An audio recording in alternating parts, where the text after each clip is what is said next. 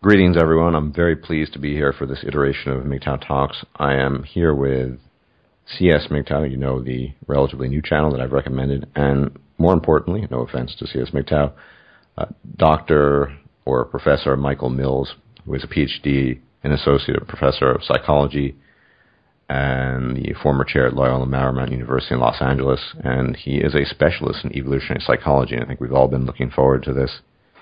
So right off the bat, the most important question we need to address, as I just mentioned uh, prior to beginning this, is is evolutionary uh, psychology just a bunch of bunk? Is it a just so story uh, told uh, to make things plausible? Is there a lot more to it? So I'm going to stop talking and let you take uh, take over, Professor. Yeah, that's that is a common um, criticism or concern that many people who are probably not too familiar with the field kind of uh, lob off at it. Uh, really, the, the term "just so" story is kind of a, a derogatory uh, word for for what we would call a hypothesis. Uh, every discipline in science has to make hypotheses, uh, theories, and these are all just just so stories because we just don't know whether they're true or not. And so the point is, how do you um, take a just so story and turn it into a testable hypothesis, one that can uh, be subject to research and be potentially falsified by research? And evolutionary psychology uses the same methods as the other sciences um, to test hypotheses. And, and one of our most important questions is what traits do humans have that that uh, we would call psychological adaptations. Um, and some of the critics of evolutionary psychology also um, suggest that we're pan-adaptationists, which means that we think everything is an adaptation.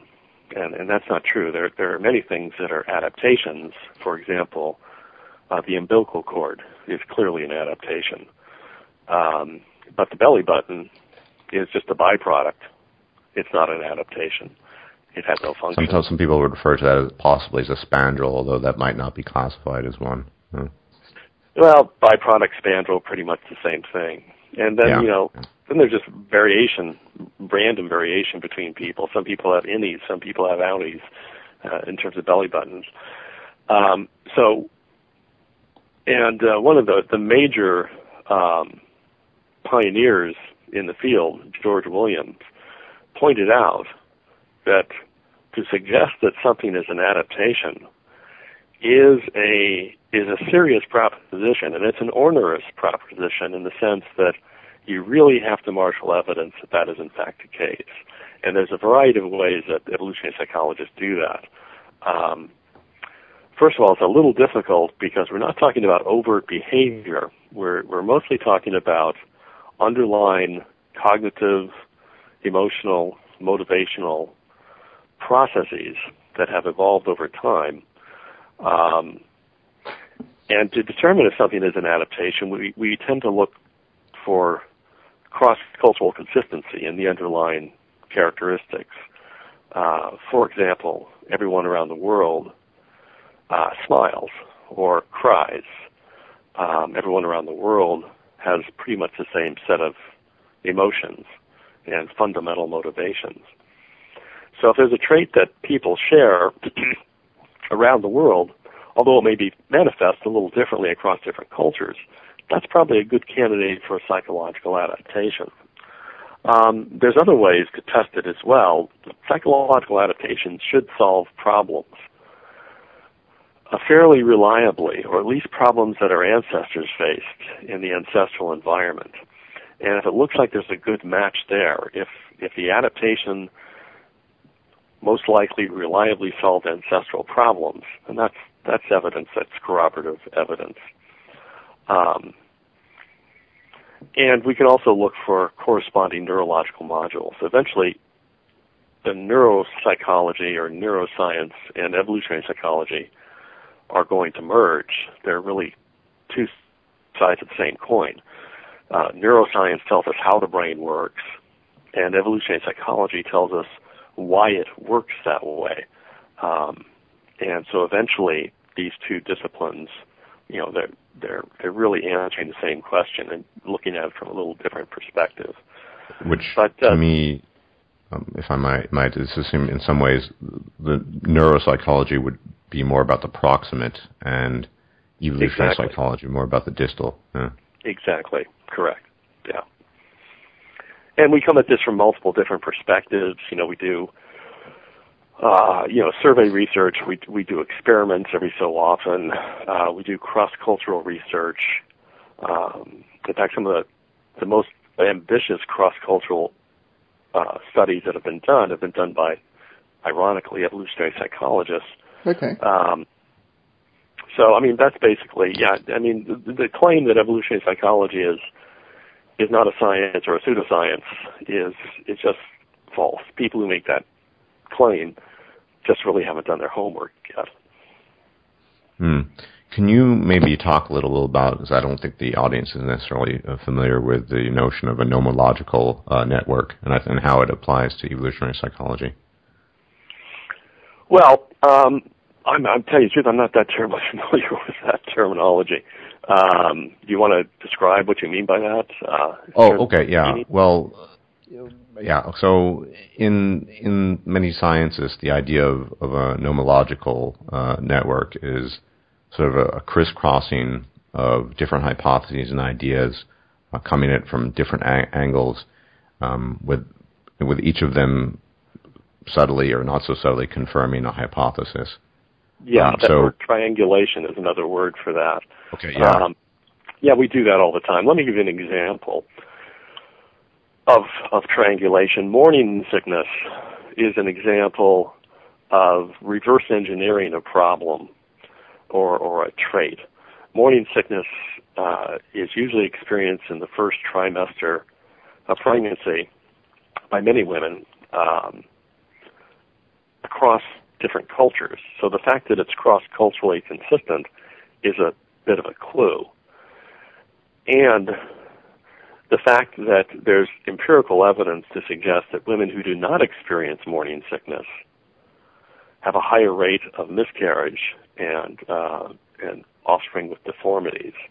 So it looks like this is solving some sort of problem. What in the world could morning sickness?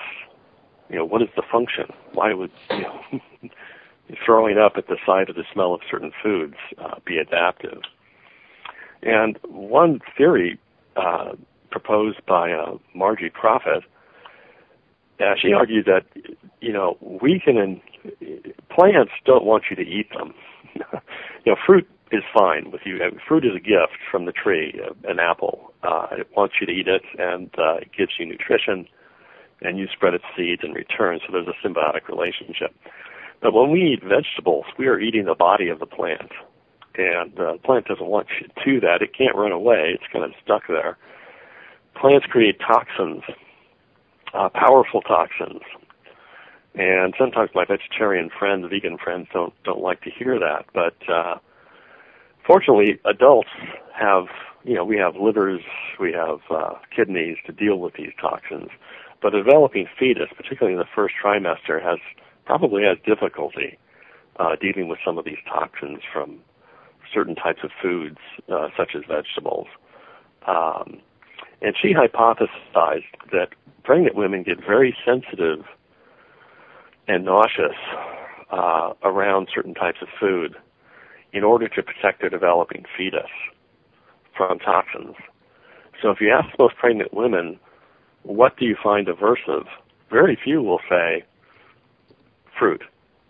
There's, there's not many toxins in fruit.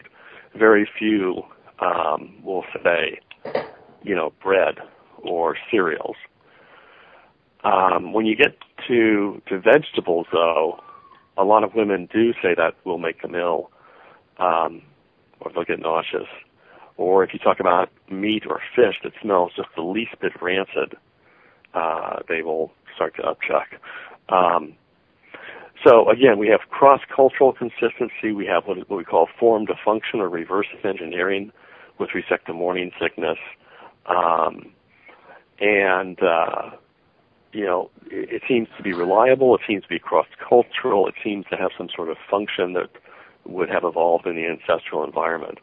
So when you're talking about triangulation, yeah, indeed, uh, evolutionary psychology, our hypotheses are subject to, to that. The more tests that you can pass, the more challenges to a hypothesis can be empirically survived, um, you know, the, the stronger the hypothesis is. Right, and I think something we do in the MGTOW community or have done is we've, uh, for example, absor- observed divorce trends uh, in different parts of the world, not just the West, but also where the data are available in the East. And without fail, it's always a majority of women who initiate divorce uh, as opposed to men. Uh, this seems to be the case in, in China, in Indonesia, in the UK, in the United States, and in Denmark. Um, and so you know, we we we look at try at least try to look at the data and, and, and come up with ideas for why that might be. Um, and the universality of say female initiated divorce and, and, based on all the stats I've looked at it really tends to be hover around 70% of the time. Easily. No matter what the country. Sorry? No no, no, no I, I, said easily. And, and, also I think you pointed out in one of your earlier videos Stardusk that when a society mechanizes the divorce rates just shoot through the roof and, and that's been pretty consistent yeah, as well.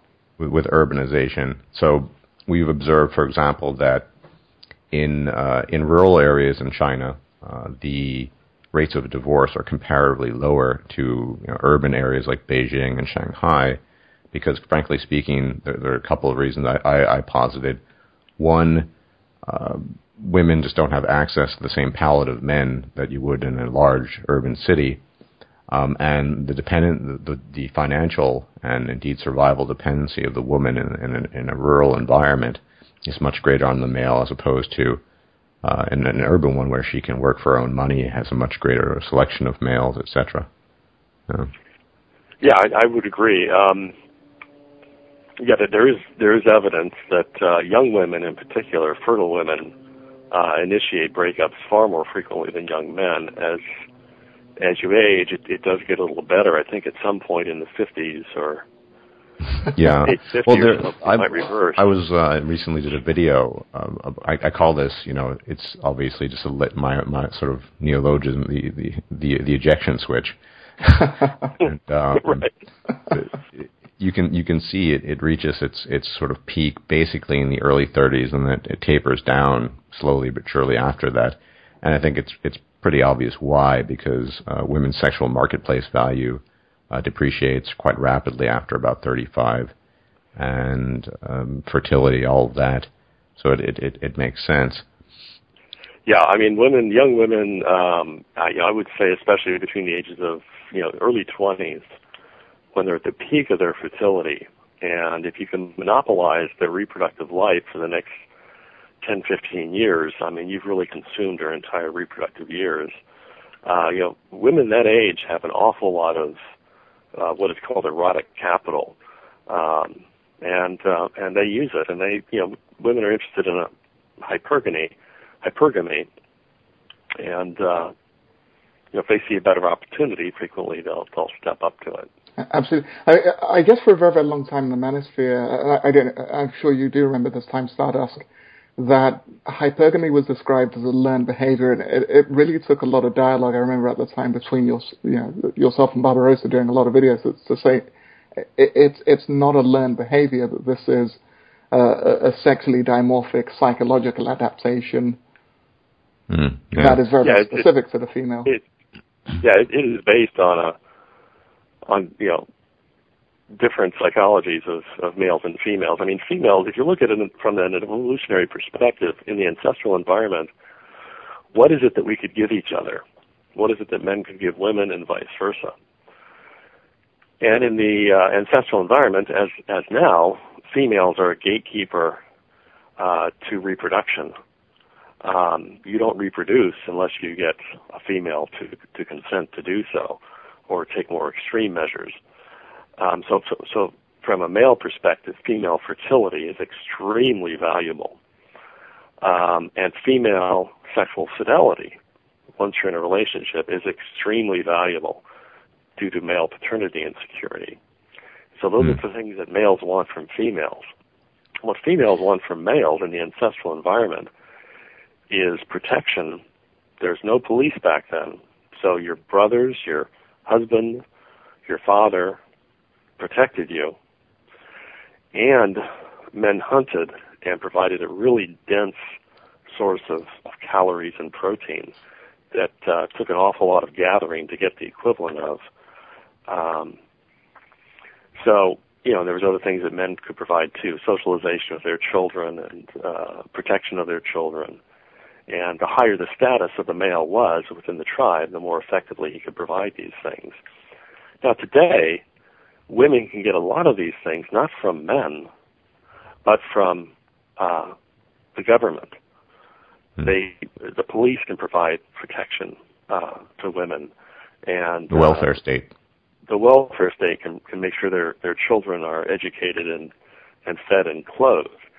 Uh, and they and, can work themselves to acquire capital money. Exactly, and I think there's some research that suggests that, you know, in, in poor communities, women can make more money from the government if they're single, rather than yeah, as yeah, a boyfriend or husband. Absolutely, and that the, that you know that really pretty much destroyed the African American family in the United States here. Uh, yeah, that's that's been observed many. I mean, Barbara, so, I guess a colleague, a friend of mine, has talked about the, what what happened to the uh, the black uh, urban environment due to welfare and and things of that nature. But uh, I think this just shows that this isn't you know learned behavior, human human behavior, and you've talked about this before, and I'll I'll bring it up again there's this idea of you know nature versus nurture, which is a false dichotomy. It's a feedback loop, right? I mean, uh, evolutionary adaptations, be they psychological or, or physical, morphological, they come about due to interactions with the environment. And you know, we're I propose, and I think you probably would be inclined to agree, we're, essentially the same Homo sapiens as we were 40,000 years ago. Not much yeah. has changed, and so you know, all of a sudden the environment changes, i.e., the government, the social setting and it's not that women have been sort of trained to do this. They're just reacting due to their own reproductive needs and drives in a different manner than previously. Yes, I, I would agree. Um, you know, there's a what we call a mismatch between our ancestral environment and the technological industrial environment that uh, we live in today. And uh, adaptations that worked very well in the past may malfunction, so to speak. Maladaptations, and, effectively, they become that. Yeah. Yeah, I mean, our our preference for sugar, salt, and fat, uh, you know, did us well in the ancestral environment, and they're killing us now. For sure. Yeah, yeah. There weren't supermarkets around every corner. I think that's the most uh, blatant example, and people people get that. But when you talk about these psychological right. adaptations, they they they react uh, quite a bit differently and they they just they think it's implausible or this or that. You know, in within the context of the manosphere, this was years ago, but we had a, a lot of, I guess, fighting, if you will, or intellectual fighting with people who tended to be what we refer to as traditional conservatives, who were utterly convinced that the this behavioral phenomenon we see with the mass divorce and um, and due to the, it was due to the government. It's, it's all cultural Marxism, and I, you know, I just couldn't. Is there an element of that? No, sure, but that in itself does not delete the biological and environmental factors that are that have nothing to do with some sort of political ideology. Um, back in the day, women's behavior was much more constrained. They didn't. Uh, I mean, these days, in some to some effect, they act as libertines. They didn't have those options a hundred years ago, uh, and uh, people continue to argue that it's that women were somehow bewitched by cultural Marxism. And we, if we just shrink the government, then all these problems that we're encountering in the modern, technologically advanced society we have now will just go away. And uh, while I think it might mitigate some of it, I, I don't think that would be the case. For sure. I mean, what I what I, for example, noticed recently, and just to kind of go back a little bit, because uh, you both spoke about the African American community, the impact of welfare. There's a really amazing book which I read a couple of years ago called, uh, I don't know if you guys have heard of it, Absent Fathers, Lost Sons. Uh, and when I then came into the manosphere, I, I, saw a lot of the arguments and and and they said, well, you know, um, the the women w- were kind of tricked, and it's like, no, no, no, that, they, that there's no trickery there. They simply respond to rational economic incentives. That once you have the government providing things, the, the role of the man is almost nugatory from a psychological point of view of a female because she sees him primarily as as a resource provider. So so so, so yeah. So no, I, I do remember that that debate at the time, Stardusk. Yeah, and I suppose some people still hold to these uh, beliefs, but one thing, you know, you talk about feminism, and you know, I, have said this, and I say this not within, uh, well, not entirely convinced when I say it, but in some way, I'm somewhat grateful for feminism. Not for you know the great wonders it's wrought for the sake of women, but in, in in revealing, in transforming our society and showing you know how men act and how women act. And um, there's a woman you might know her, Karen Straughan. Girl writes what? she yeah. does a lot of public speeches. Yeah, yeah, and she's pointed out that you know you can't get get much more you know female than feminism. That it's about as primitive a female uh, this desire for you know provision and be, being taken care of and exceptionalism and all these things that come with modern feminism. Uh, that is that's just basic human female behavior right there, uh, highlighted for all of us to see, and in a very extreme form, admittedly. Uh, and and to, to some degree, I'm, I'm somewhat grateful because uh, we grow up, I think, as men, and you're a male as well, not we, we don't understand these dynamics. We we, we you know, girls are nice and they're sugar and spice. Uh, we we hear that feminism is about equality, we, it, and we're sort of launched into a minefield and, and a minefield within a labyrinth, maybe, and we have no idea how to navigate or, or go about these things. Agree. Yeah, and I think that you know Warren Farrell uh, a long time ago in the 80s, 1986, I believe, in his book Why Men Are the Way They Are, and in subsequent books. Um, you know, one thing that feminism has done for men is it it has informed us of areas that females feel powerlessness or feel discrimination, and uh, and, and uh, kind of elucidates what what their needs are. And uh, you know, men have been fairly receptive to hearing that, but uh, he also points out that uh, you know women need to learn about how men feel powerlessness and uh, what particular problems uh, men have. And quite frankly, what I have found most disconcerting about the feminist movement, other than its its theoretical foundation not being correct with social constructivism, is that uh, there's kind of a sense of um, of a lack of humanism in the sense that women's problems are somehow more salient, the important, deserve to be addressed than than men's problems, or we don't need to worry about men because men are the oppressor class, kind of a, a Marxist kind of interpretation. So yeah, I, I would I would agree with you on that. That um, you know, uh, a lot of what feminists ironically do is exactly what evolutionary psychology would say that women are interested in doing. Agreed. Essentially, they're promoting their interests. Uh, agreed. Uh, what I what I find really, really fascinating about it uh, is that what I see a lot of these days is is a kind of trickle down approach w- with feminism. What what I mean by that is that they'll say, "Hey, look, feminism benefits men as well. So if we all have wage equality, when you go out to dinner or something, you, you won't have to foot half of the bill. And of course, it's, it, it then, of course, completely misses how men are totally disadvantaged when you implement, uh, you know, all of these kind of feminist driven, driven policies. It, it's, it's well, particularly as a, as a mating strategy. I mean, yeah, I no mean, matter what, how. What women don't understand is that that is part of the of the mating dance. It it was part of the it, it's the part of the mating dance for many species, including birds, uh, seagulls, and so on you know, when, when one of them has a nest, the female has the nest, she's got to be fed. Agreed. And it's the male that feeds her. And for our human ancestors, the only way that women would get, probably for the most part, meat were from their male uh, lovers and, and relatives. Think about uh, a, a date. What happens on a date? What happens very frequently on the first date is you go out to dinner and yeah. you literally feed her. and you know, to suggest that we just stop doing that and that, that we pay for it equally, first of all, women don't want that. Exactly. That, yeah. I mean, I've, I've done surveys of my students, and I've asked them who should pay on a first date. About 75 to 80 percent of men want to pay on a first date because they understand this relationship between provisioning as you know as part of the courtship uh, process, and uh, it will help to turn a platonic relationship uh, down the road maybe into a to a sexual relationship.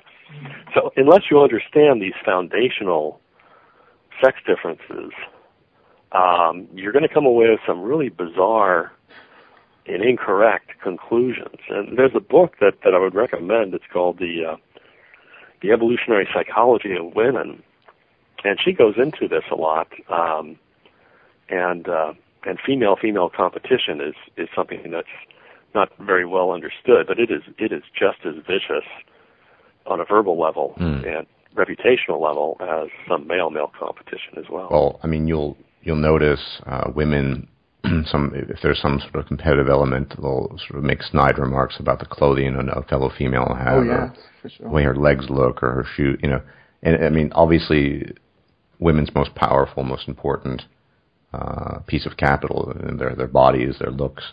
And so, if you denigrate another woman's looks, particularly if there are males present, um, it's it's a kind of one-upmanship. I mean, they they are competitive, oh, yeah. but in a very different way uh, from men. For sure. Uh, and, men, and another thing they do is uh, is slut shaming.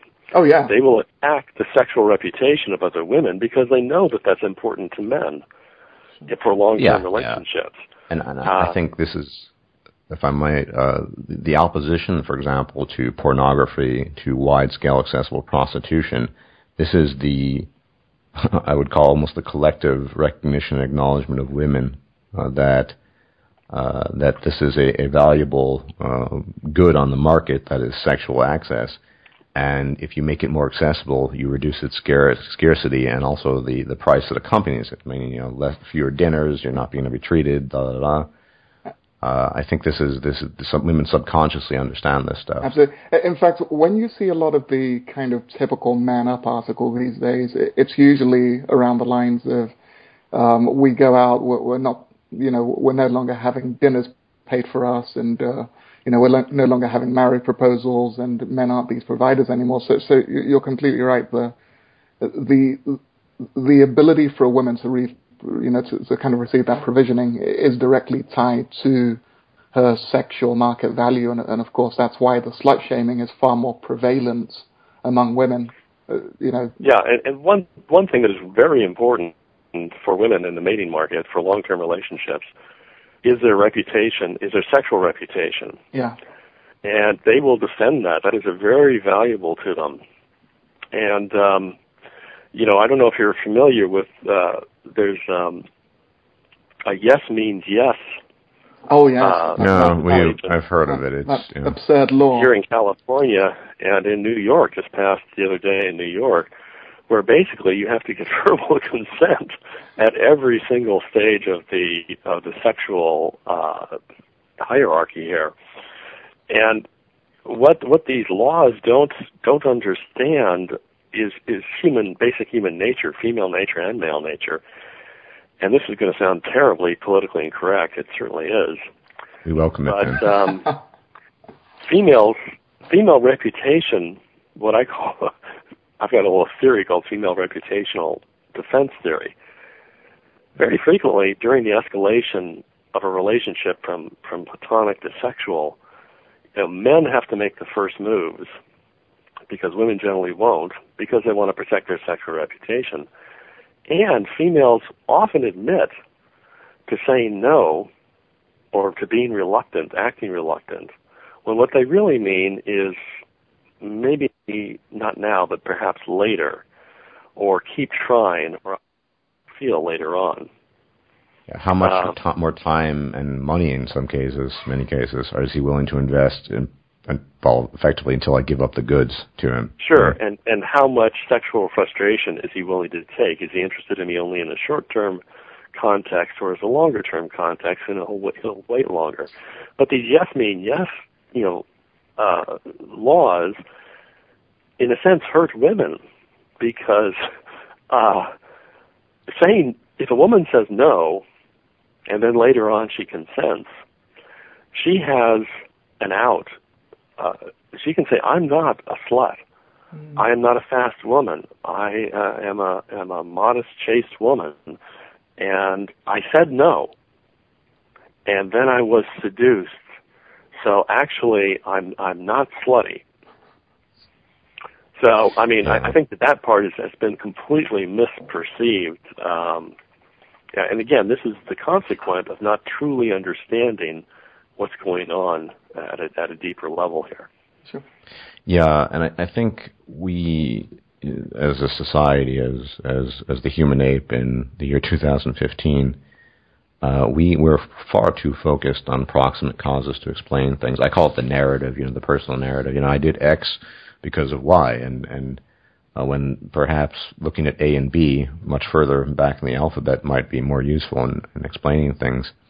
Yeah, and, and um, I one thing that I've I've grown to appreciate more and more over time is people really if you ask someone why they did what they did, they frequently don't answer correctly. We don't know why we did what we did. We know why we want what we want. We know what we desire, we know what we find aversive, but we don't know the reasons why we find those things desirable and aversive. Agree. And it's very difficult for us to to even be cognizant of that and and to change it. Um, so if you ask someone, well, why did you do that? You know, they'll they'll they'll give you an answer that is a superficial answer. Yeah, why did you eat the orange? Well, I was hungry well, why an orange, not an apple? Well, I just thought an orange would taste better. You know, and they have no idea of the underlying causality, proximate or ultimate, that, you know, maybe you were low in blood sugar or you needed magnesium or something, or our ancestors ate ripe fruit. Uh, you know, they're completely oblivious to all of those. Agreed. Yeah, I think, but that's, I think, the power of evolutionary psychology and understanding yourself now as me personally, I in my own life, I just sort of, I just don't really deal with women on the sexual level. I prefer to keep my money for myself, and I'm just completely out of the dating game. And I know when I decided on that in an official manner, uh, my, my desires, for example, to go to the gym dropped tremendously. You know, it's just uh, why would I even bother? And and I, I recognize that it's it's it's much harder now these days than it was when I was still trying to court women, and it remains so. I have to really push myself because that mating drive, for example, I know is such a powerful motivator for men in in every sense. Be it you know working a job, getting fit, getting in shape. So much of what we do is to present an image of both genetic fitness and the ability to present resources to women. And when you take that out of the picture, you can it affects your psychology. I know, for example, I, I I struggle to push myself to go to the gym because you know who am I going to press except myself? Mm. It's it's it's very very interesting how that can work. For sure, uh, I guess to to a large extent, our, our, civilization is built around the male reproductive drive. You know, the the desire to build things so he can you know be be acceptable to, to females to, to to start a family. It's you know the desire to take on a higher paying job. It, it just keeps the, the man just driving and, and working and striving for more and more. Yeah, and you see in the modern world now, I mean, not even just MGTOW, guys who just don't want to deal with it all. We we tend to do a lot less. You know, we yeah. do the bare minimal for for ourselves to get by, and uh, I don't think there'd be a female on earth that claim that my life and the things I do are ambitious, even though I read books and I'm just interested in knowledge in general.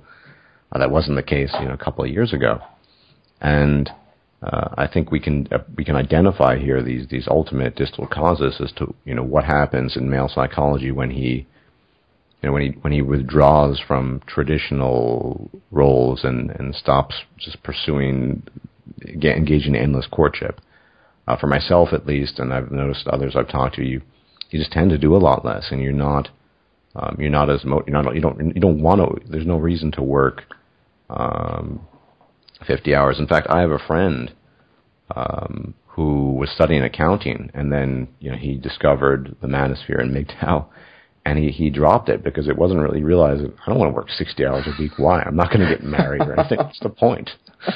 You know. So right. It, it's and you know, folks in the ancestral environment um, probably work only a few hours a day. To tell you the mm-hmm. truth, and then we're just Energy pretty much conservation. Yeah yeah, and it's pretty much hung around the fire and and uh, bullshitted each other and who got the biggest fish or the the biggest bison or whatever, and uh, you know we're we're working ourselves to death, and and that's another well, yeah. example of mismatch. We want status, mm. and uh, and in the modern world, you know, having money and a position.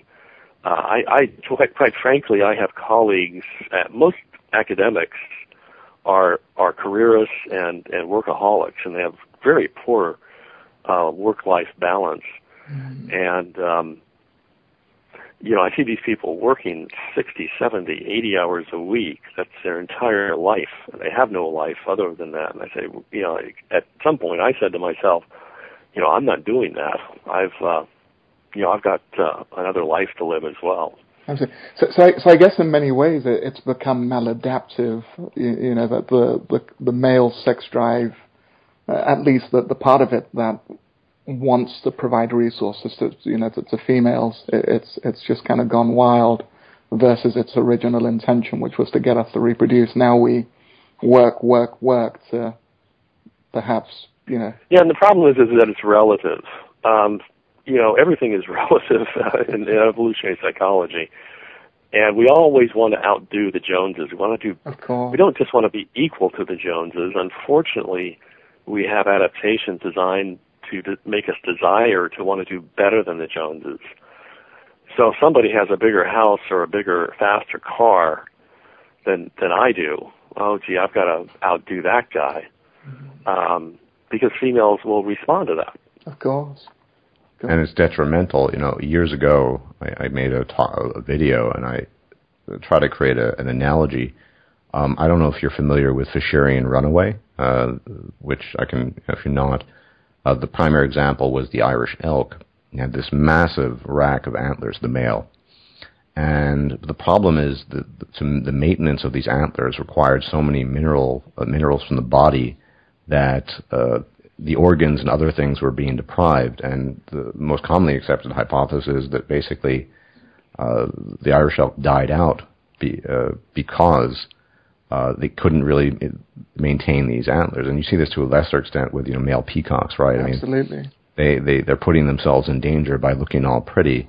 And, and, and of course, it does not physiologically represent the male, perhaps, but the idea of working 80 hours a week uh, when we know that stress is, is, is a killer and overworking and, and just trying to provide.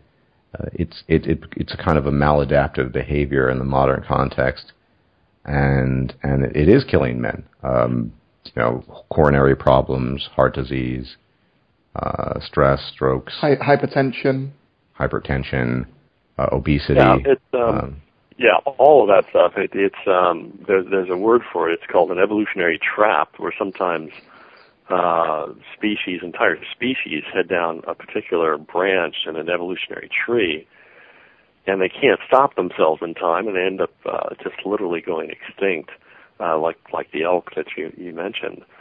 Um, the question that is kind of interesting is to what extent are we completely controlled by and slaves to our evolutionary based adaptations, desires, and aversions, and to what extent can we try to transcend them?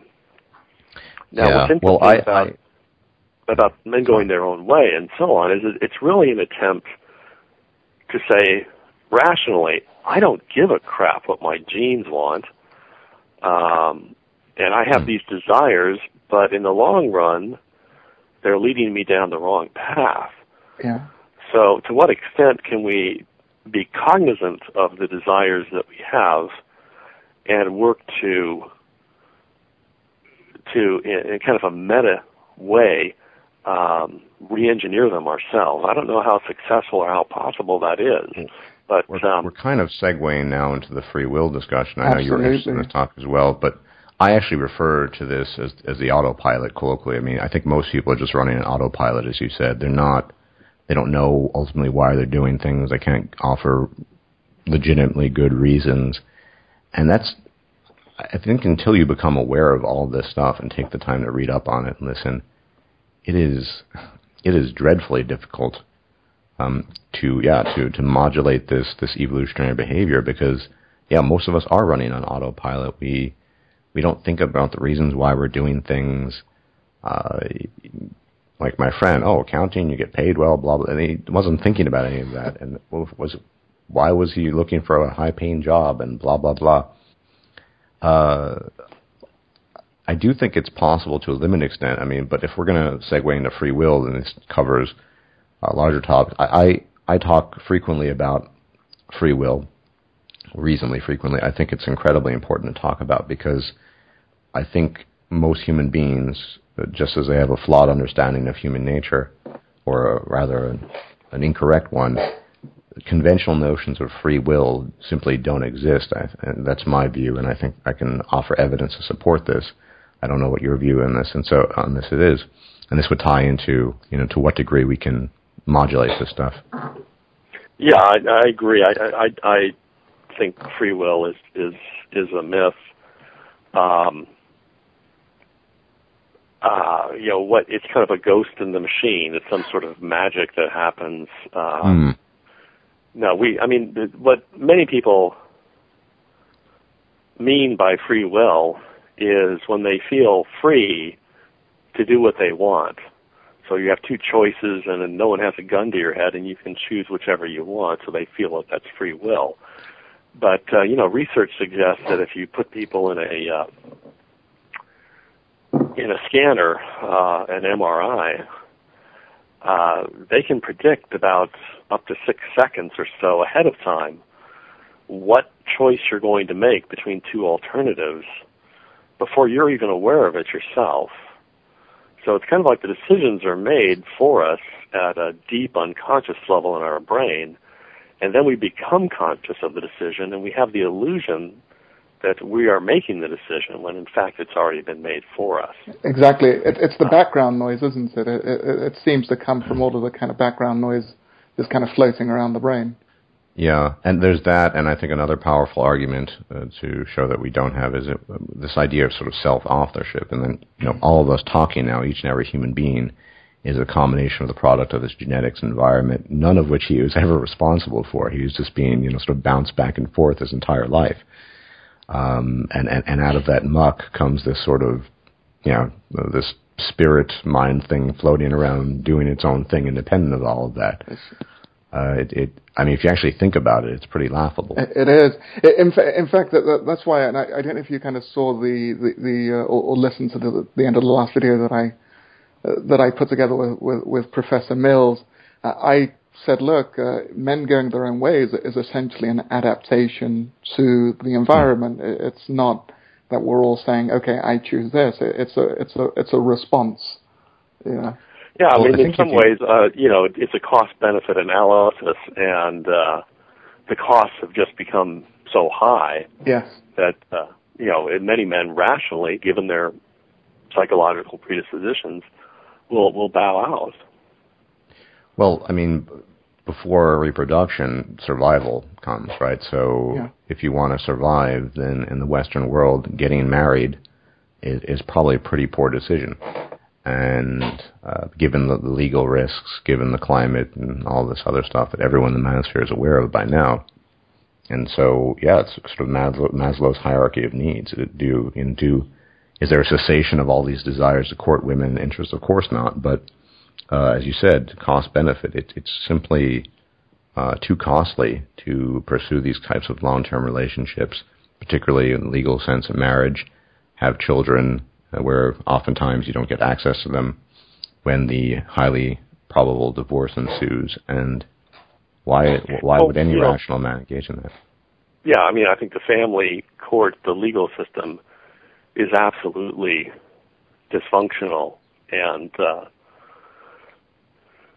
and actually probably does more harm than than good. It's probably you know it's based on some you know fairly primitive ideas about women needing protection and women needing support from men. And these principles are still being applied today, even when you know the environment has changed and uh, women are making about as much money as, as men are making. Agree.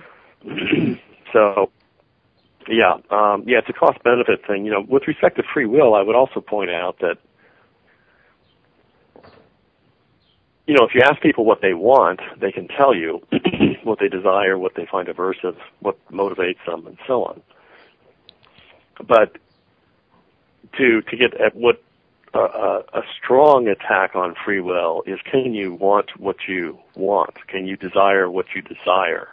Mm-hmm. And there it breaks down very rapidly uh, most people would agree they, they can't choose what they want to desire. Mm. That desire is already there. Absolutely. And even if you could, if you were some sort of guru, could you choose to desire, you know, a desire several levels down? um, you know, can you want what you want to want to want? and of course, well, yeah, completely yeah. break down there. For sure. And I've run this test on friends. I mean, I say, why are you interested in X? And you know, when you think about it, they don't really know. You know why? Why am I more interested in say biology than physics? I don't ultimately know. I know that I am, but exactly. Why? Well, I don't know you know, why does one particular woman attract you and another doesn't? They, you exactly. Know, people objectively say that they're yeah, equally yeah. attractive, but there's well, why, why do I like women with green eyes? Oh, they're pretty, but that doesn't explain the, the why behind it. For sure. Uh, uh, I, I, guess the thing I, I, would love to ask you, uh, Professor Mills, is this. Uh, I mean, the concept of free will has pretty much been discredited among the academic community. Why does it still linger among the society at large? Well, I gosh, that's a good one. I think it's an illusion that is very powerful because we feel like we're making choices and we're completely unaware of the the deeper causality that's going on down deep in our unconscious brain. And so it, it it's like this the same illusion that the sun rises and sets and it looks like the earth is revolving or rather um it looks like the sun is is revolving around the Earth, when of course we know objectively it's the reverse. Um, you know, so it's, it's going to be difficult to to convince people they don't have free will, unless you really get into the argument. You know, can you desire what you want to desire? See. And and then most people say, oh, well, I guess I really can't. I see.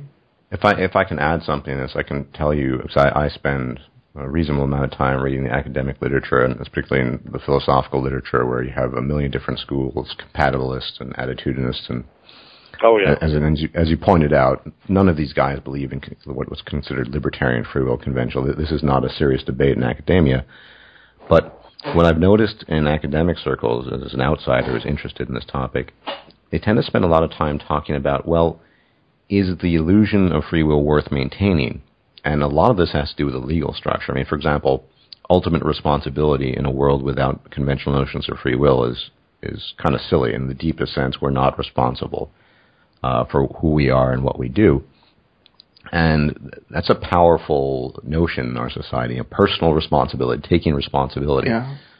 Uh, there's a famous example, uh, Harris, I think his name was Roger Harris. Now, this guy was, and it's used in the philosophical literature, he was sexually, physically abused as a child, uh, bullied at school, the teachers hated. I mean, every you know, if you could go through a bad childhood, he he suffered that. He later turned out to be a serial killer. Uh, so some combination of his neurology and interaction with the environment undoubtedly led to that.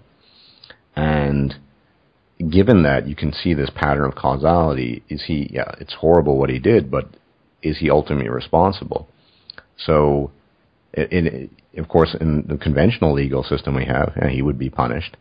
Uh, and but if you get rid of, of this notion of responsibility, if we merely are sort of, sort of these things being bounced about by events and the subconscious uh, and our unique circumstances, it, you can't really have a, a functional legal system. It, at least it can't be vindictive and uh, and and vengeful. In fact, it's it's interesting that they've done studies uh, comparing the European systems with the American penal system, uh, and the American penal system, where there's a seems to be a stronger notion of, of vengeance, it, they tend to be much harsher in punishments.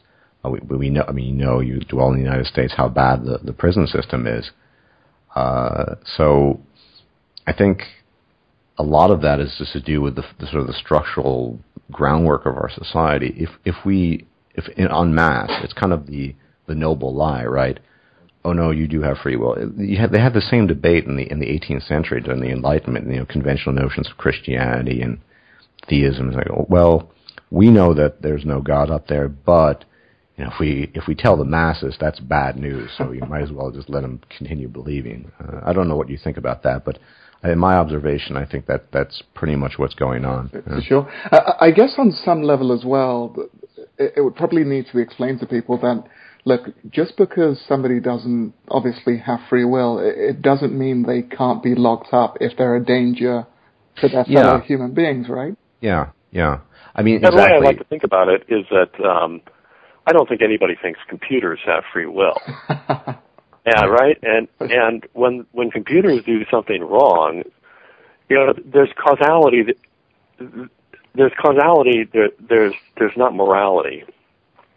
Things happen mm. for for reasons, and morality is just um, morality based on free will is is an oxymoron. Uh, if free will doesn't exist, you know, when my computer does something wrong, um, you know, I either I either try to fix it, um, or if I can't fix it, I, I, I guess I discard it.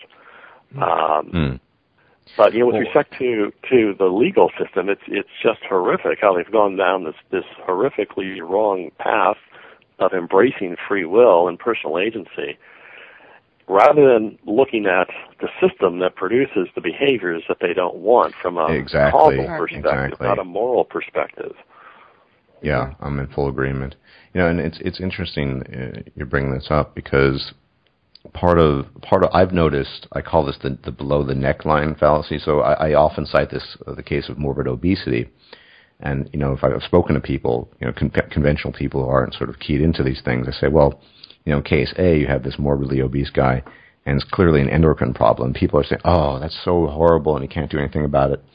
But if it's some unidentified thing going on in his head, i.e., a neurological problem, it's all his fault all of a sudden. So we, we make this artificial separation between the things that go on in our mind, this nebulous know, construct. But if it, if it originates in the body, in the physical body, below the neckline, effectively, it's uh, it's completely different. And I think a lot of this has to do with this old notions. I mean, Cartesian dualism, this sort of separation of the of the of the of the mind and the body, which really doesn't have much hold much water these days in academic circles. And I've even uh, read, I'm trying to remember where, I can ideas proposed by evolutionary psychology that we're sort of hardwired to believe in some sort of Cartesian dualism, a separation of the mind and body, um, just as we're sort of hardwired to believe in, you know, some sort of divine concept.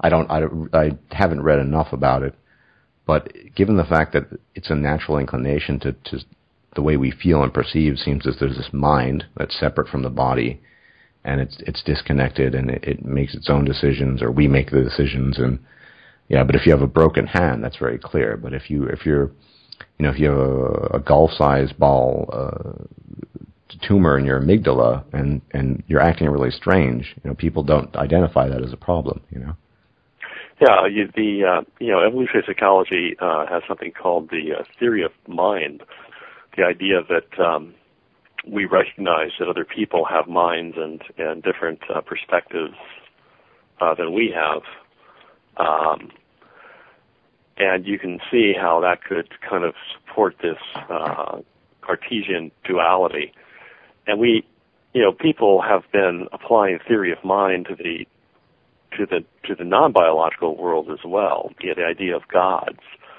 um, being angry or um, you know attributing mental states to to inanimate uh, objects. Mm. Um, yeah, I, I agree. That that's part of the problem. We don't intuitively understand the causes for why people do what they do, and so we tend to just assume that that's the way that they are. And you can see on a daily basis in the ancestral environment, if you're talking about um, just making a living from day to day and surviving, you know, if somebody does something to hurt you, uh, you're not too concerned about the ultimate causes of, of that. You just want it no. to stop. So.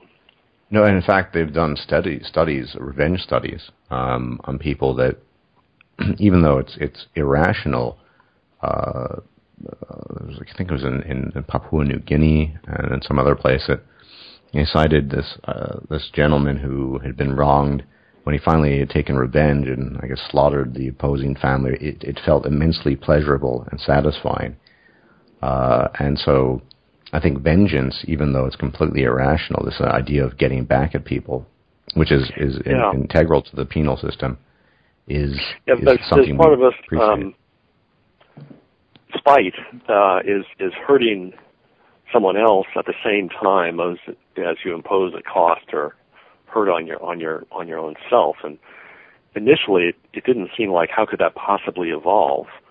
But um, one theory here is that uh, it's relative. Reproductive output is is relative to others, and there's two ways to to better your competitors. You can out reproduce them, or you can reduce their reproductive output. And you know, this is the dark side of evolutionary psychology, sure. this relativity, and sure. uh, which makes homicide and, and genocide and and all sorts of nasty behaviors. Uh, Hello. Hello. Hello. Oh boy. Uh oh. Mm. Okay. The thing I feared has occurred. shall I do this, uh, Stardusk? Shall I drop the call call Michael again, and then we'll, we'll bring him in. I'm again. still here. Can you hear oh, me? Perfect. Oh, okay. Oh, okay. perfect. We Good. have you back. Yeah. Okay. That's Okay. Um, yeah. Did I drop out there? praised. yeah. Sorry Yeah. about that. Okay. Yeah, no, no, and and I, I think, you know, getting back to what we talked a little bit about at the beginning is that um, there's a really brutish, and I'm not saying it's universally so. That we're, we're both, you know, we have kindness and goodness, and but there's a new, uh, really brutish and nasty side to human beings, and particularly in the manosphere, I, try to be objective. I don't, I don't hate women or anything like that, but uh, women are, inc- are are capable, despite what people claim, of incredibly destructive behavior, uh, particularly towards their male partners, but also to their children. And when you talk about this, um, we know, for example, actual real studies, not feminist studies, show that uh, domestic violence is more often initiated actually by women than by men. And Yeah, sure. this this sort of sets off alarm bells. People people don't want to accept that we are not this this wholesome, uh, nice human creature. That, that there are some really nasty aspects to ourselves, and Okay. I think it's important to explore those as well, if only to arrive at a much more accurate conclusion of what we are. And we, Yeah, we need to understand. uh, yeah, evolutionary psychology uh, acknowledges that there is there's a very very dark side to human nature, and history is is littered with um, you know bloody conflicts and, and all that. And women are certainly not exempt from this. I think there's a quote that there's no man so so vicious or murderous that a woman wouldn't sleep with him. um, in any you event, gentlemen, I, no I have fury as a another woman scorned. Yeah. Gentlemen, I've got another appointment I've got to run to in just a couple minutes here, about Okay, five minutes, okay. if we want to uh, uh, close up Okay, here. then uh, we'll. I mean, and maybe you guys could continue on. Uh, yeah, we can. I, we definitely could have a uh, sort of summation and a, and a more off the cuff discussion. Well, I don't want to keep you then.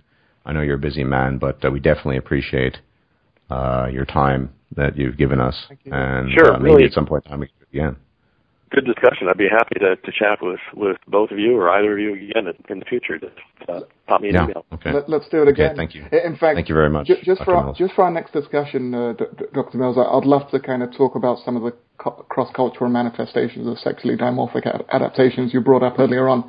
But w- we'll organize another time for us to all do that. Sure. Sounds great. Great. Look forward to Okay. it. Sounds Okay, good. guys. Thanks very much. Thank you much. much. Okay. Thanks. Okay, bye-bye. Bye. Okay, I think um, we we can continue this on our own. I mean, I have, I have time. Sounds good. Same Um, here. Same here.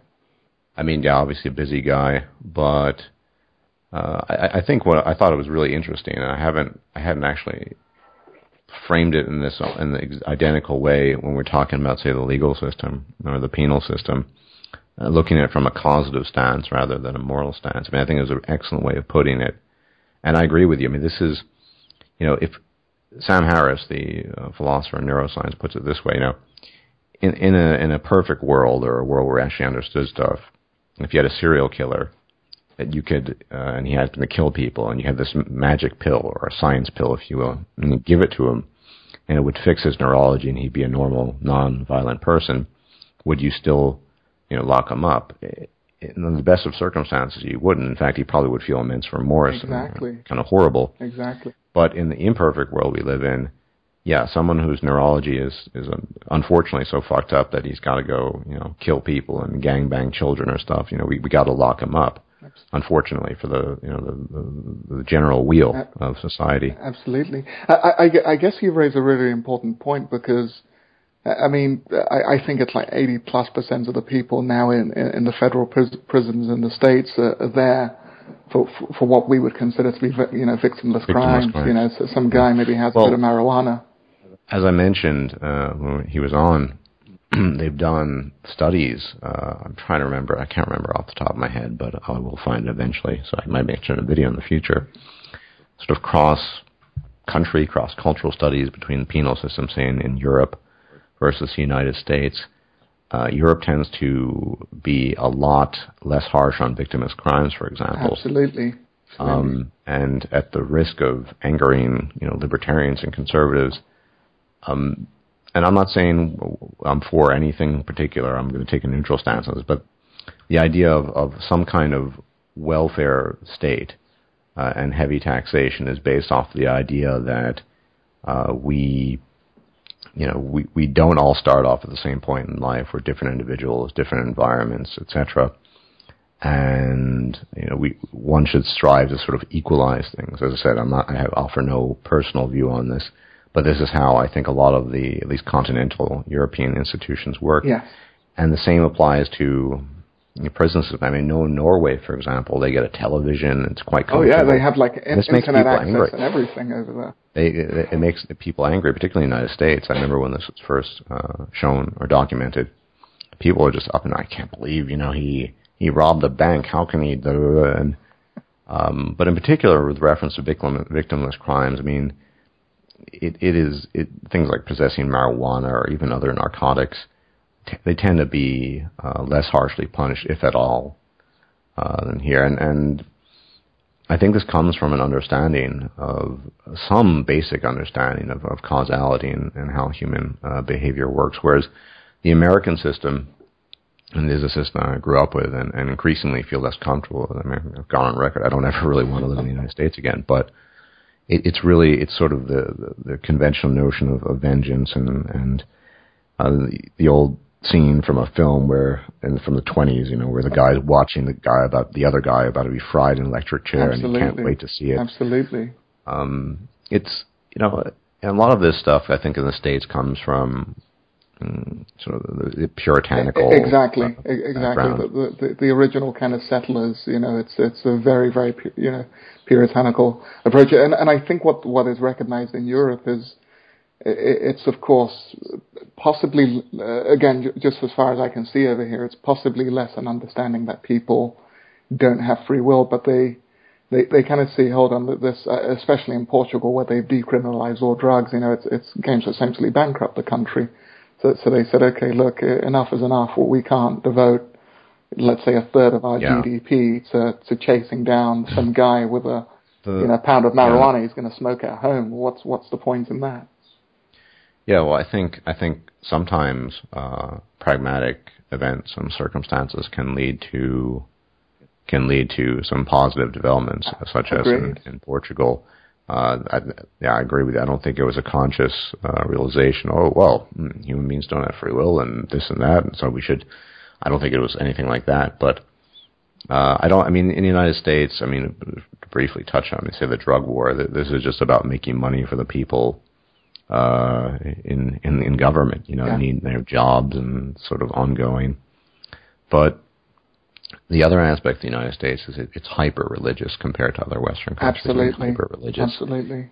It's um, not where I'm from, New York City, which is relatively secular, and the Northeast in general is the least where I'm Well, depends if you consider New York Northeast or not, but I have spent a lot of time in New England as well. So, yeah, the Northeast in general is, is the least religious area, but the areas I'm least familiar with, and like the Deep South and stuff. I mean, if you don't go to church, you're some sort of freakish uh, anomaly. What? For sure. So, uh, things of that nature, and that that of course informs people's ideas about you know vengeance and and uh, and punishment.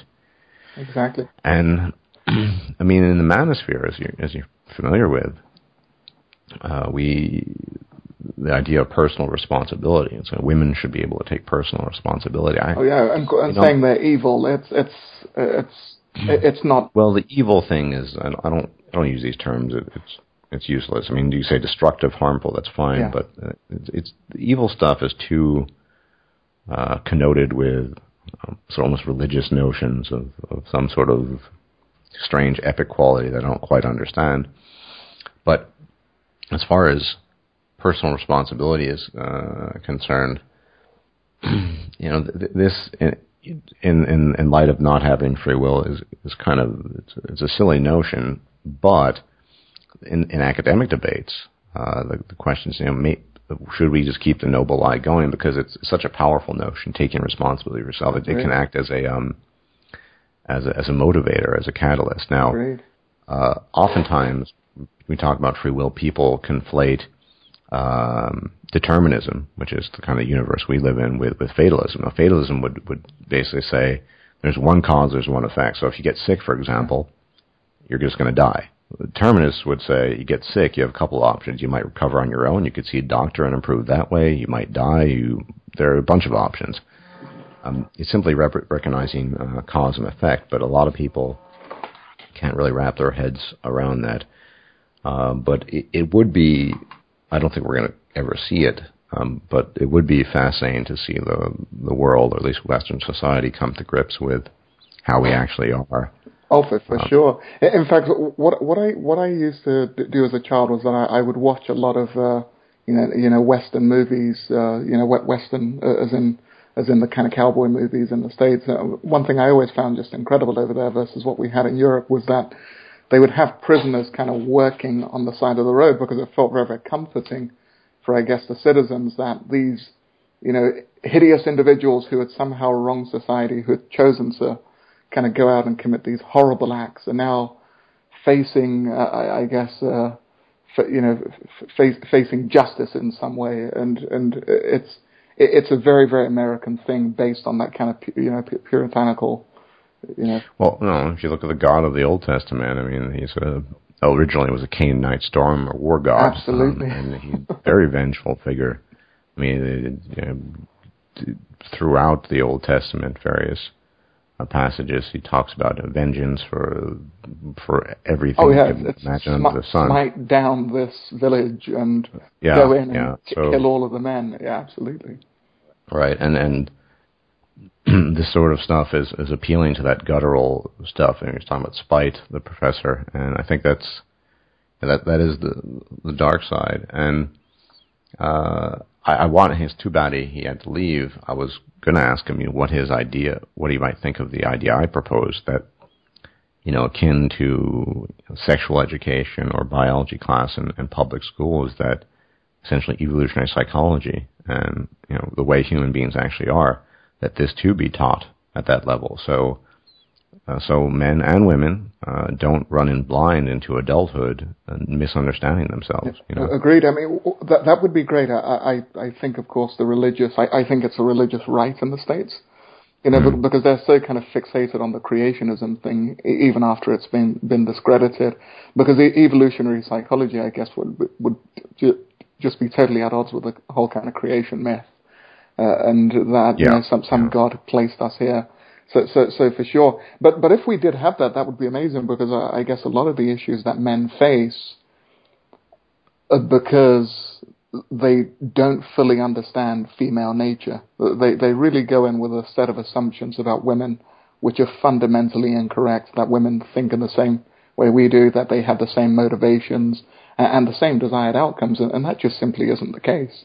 They're, they're hardwired very, very different to want very, very different things and to go about getting those things in a very, very specific way. And, and men find it out often too late. So, so I agree. It just well, sometimes they never do. I mean, oh, yeah. what, what is it? I can't live with them, can't live without them, millionaire mystery. There's almost, when you take the time, it's not rocket science, there's almost nothing mysterious about women. Yeah, absolutely. um, but if you don't have that, you just, you're sort of left to be baffled and just think, what is she doing? And, and why is she doing this? And I think, uh, I was actually, as I said, I was pretty touched by your video um, Thanks. I meant it. You, uh, you, you woke me up. Yeah, you you almost remember to a T. My the actual statement was, you know, hope is the denial of reality is the carrot dangled before the draft horse in a vain attempt to keep it prodded along. And you can, it actually can be continued to say, well, you, are we just supposed to give up? And you say, no, we continue forward with our eyes open. Mm. And I think that that is sort of uh, a very MGTOWish uh, concept. Agreed, agreed. It doesn't mean stop doing things you enjoy, although certainly uh, for me, dating per se, not so much enjoyment, but the, the things that you have to do in order to get to the, the final prize just aren't worth it. Um, you know, this is another part of human nature, this sort of ethereal hope that things are just going to be okay, and if only you work hard, your wife will appreciate you. And, I, blah blah blah. I, I, I went through that delusion for years. If only I did more, paid for, you know, paid for better holidays. in, in fact, you know what I found incredible was that uh, I don't know if you remember the, during the first Obama campaign, and he he ran on the platform of hope. And, and as, mm-hmm. soon as I saw that message, I thought, okay, you know, he, he's pretty much going to win because it speaks to such a deep, irrational part of the human mind. You know, yeah. well, I think in your own way of CS MGTOW, um, from what I understand, it, it seems that we all experience the law of diminishing returns. Agreed. You know, as I mentioned in my most recent video, uh, the robotification rebellion, I mean, service begets service and begets service till you die. And each time a service is rendered and it's quote unquote appreciated, an even greater service is expected. And that's true whether it's society or the individual woman. Of course, absolutely. Uh, and the, the only way, I think, ultimately of addressing it is, is to stop serving others because – um, at least if you're doing it on your own, you ha- you have some degree of, of personal expectation that you can put on yourself. I mean, okay. you don't constantly have to outperform yourself. Absolutely, uh, and I guess all of that time spent serving others, if you disengage in those activities, then you get the personal satisfaction of doing things for your own benefit. Uh, yeah, yeah, but it can become tricky. You know, I've been mean. I, I I talked about this just now, but you know, I, I go to the gym on a regular basis, but it, it's it's hard. It's not the same motivation I had, and it's not just because I'm I'm I'm almost forty. It, it, that's probably part of it, but it's it's because you know, say seven eight years ago, I was doing it to present a genetically fit Stardusk to women, so I could you know date them and and get in their pants and whatever. Um, that. Uh, it, things become sometimes more difficult when yeah. you go your own way because you're you're recognizing these underlying factors Absolutely. that serve as a motivator. Agreed. Um, and yeah, we do tend to do a lot less.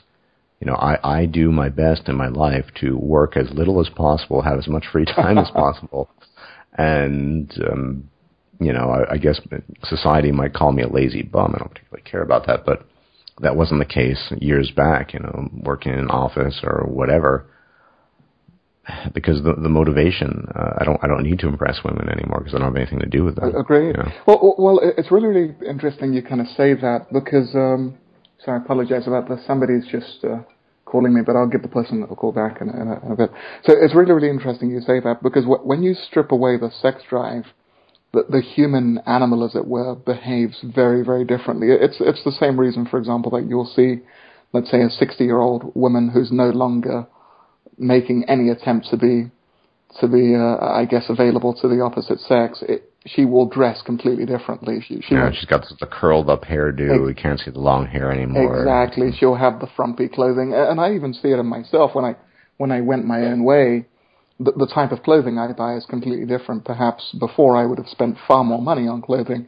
Now, I don't spend anything on clothing. It's just old clothing. I wash it, wear it, wash it, wear it. That's the way. That's the, you know that, that, that and and and I and I find I do the same as a guy now. So it's now just very functional clothing. You know, it's, it's that I can wear in the gym and just kind of loiter around the house with. Absolutely, absolutely.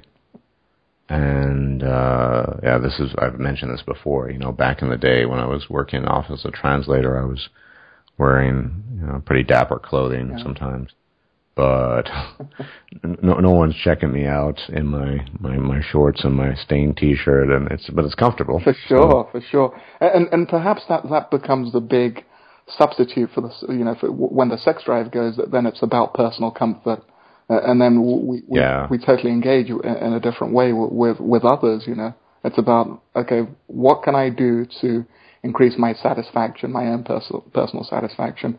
Actually, wearing a nice suit at home, it's it's you know it's absurd and nugatory. But the reason you buy a nice suit is for that social validation, right? Oh, absolutely. I despise suits, always have, and so that, that was one of the most liberating uh things uh, I had in my high school. I had a dress code. It was annoying and, and choking ties around my neck and and dress shirts, and uh, that's definitely a liberating aspect of of MGTOW is getting rid of all that stuff. And I, I think, you know, sex drive. I'm not that old. I'm old, but that's still there to some degree. Sure. But it's all it's all about the the cost benefit, and uh, in addition to being exceptionally picky when it comes to women, and always have been. I, I just I've never been a kind of guy who just looks at a woman and says, "Oh, it's a woman, so I got to get in, you know, inside of her." It's never been that way. Mm-hmm. Um, but yeah, it, I, I would love to see uh, just more public uh, version of the discussions we're having. Great. But uh, I'm skeptical about that prospect because there's so many things just blocking the way. Um, so many. I mean, we see this in in in the the MGTOW sphere. Every time I do a free will video, there's so many objections, and even though that free will is essentially the notions conventionally have been discredited in the scientific academic community. In, in the in the lay community, there's always an an ongoing uh, discussion about these things, just like the false dichotomy of nurture versus nature, when it's a feedback loop. Exactly. And so we're kind of, kind of, I find at least myself often stuck addressing things that I feel have been addressed or or have been resolved, and then you sure. you want to move on. For sure. But uh, it's difficult. No, uh, absolutely, and I guess uh, possibly in the manosphere, and, and actually probably in wider society, we're very, very much fixated on. Uh, actually, maybe I, will put this in a, in a, in a better way. We refuse to acknowledge that so much of our lives are, you know, is a result of just random stuff. You know, whether you, for example, get mm. that job that you know you go to a job interview perhaps is probably le- where you're born exactly where you're born whether you have the right accent whether the mm. guy happens to like the red necktie you're wearing he just has do you know what I mean so uh, uh yeah. we ignore I mean, think, think, think about in, in your case. Uh, I know you're a Londoner. If if you had grown up for whatever reason with an absurdly strong Cockney accent, how that would have affected your career prospects? Oh, it, it would have been massively detriment, detrimental to my career yeah, exactly. Massively so. You know, and and and all these little random things. Um, they're perfectly intelligent people from the southern states who, you know, because of the, the social stigma attached to that sort of accent, yeah. they start talking like this. It doesn't sound that, you know, something like that. So th- life is just a, a combination of a bunch of haphazard uh, events that, that befall you and, uh, we don't we don't really choose. We don't choose who we are. We don't choose what we have. At least initially, uh, we until we have some choice later on. But even that is limited by uh, the circumstances that we're born into, be it our own genetic circumstances, environmental, uh, etc. Exactly. It's it's um, something that people almost never take into account, and uh, it's you know I find it uh, a bit depressing because there's so many online discussions mm-hmm. uh, going on about things that just aren't worth really being discussed. Absolutely. You know, whether a person is at fault for being morbidly obese or or handicapped or, or whatever. These are not discussions that are necessary because it's pretty clear that they're not. Exactly. Exactly. Um, well, but yeah. well, it's also because in many ways a lot of us like to believe in a kind of hard meritocracy or almost that. Mm, you know, yeah. if you just do X, you will get Y, and it just simply doesn't work like that. You know, so much of it is so much luck involved. Exactly, exactly. But we're very, very fixated. I guess particularly in America, America's almost the kind of ultimate meritocracy, right? Yeah, so. absolutely. Well, I like to say life is a lottery. Exactly. And it is. Exactly. But um, certainly in the United States, I mean, it's interesting. You know, I lived in the UK, I lived in continental Europe, lived in the United States. UK is somewhere in between continental Europe and the United States. It's sort of neither nor. But you're right about the United States having this notion of uh, uh, meritocracy and tend to work longer hours. They tend to enjoy it more, etc. And there are all kinds of ideas as to why that's the case. You know, because they're taxed less, and so they can reap the benefits more. Uh, but um, yeah, but once again, going back, uh, one of some of the notions of the Puritans that uh, were the first colonial inhabitants of the United States was this idea of sort of simple hard work and, yeah. and what have you that informs uh, that informs a lot of the uh, American mentality. Um, but that for I mean for myself that's um, particularly going your own way. I, that's definitely uh, not for me. Great. Um, I do work, but like I said, I don't work more than I have to. Uh, and I feel that certainly in the United States, there's the um, expectation that, that one should sort of work hard for the sake of working hard. Agreed. And well, yeah. Well, because you know, I guess on one side we're defined by what we do. You know? Well, certainly as men. Yes, absolutely. I mean, there's no, absolutely. there's no, uh, there's no identity outside there's of. No, yeah. there's no personhood outside of, of, of what you do. Exactly. Um, exactly. And that, that's just a universal. So in the in, in the real world, I'm I'm I'm nothing. I'm basic. I am basically a bum. Mm. Uh, and the internet, you know, obviously, I'm a content producer, relatively well known in a small area of the, of the, of YouTube, but so I have that uh, sort of identifier as a as a doer, as someone who who performs actions. But the minute I go out in the real world, they look the way I'm dressed, etc. So I don't think we can ever get rid of that as as men, unfortunately. Great. Um, you know, yeah, um, and and there's so many superficial markers that you know one of the reasons why I enjoy uh, talking to you is that you're very articulate. And, and vice uh, Well, yeah, but I well, thank thank you, but I do have you know I studied stuff that would would help with that. Um, and for example, most people don't know the word nugatory, but you kept on mentioning it. I was saying, oh, most people you never hear that in a con- conventional conversation.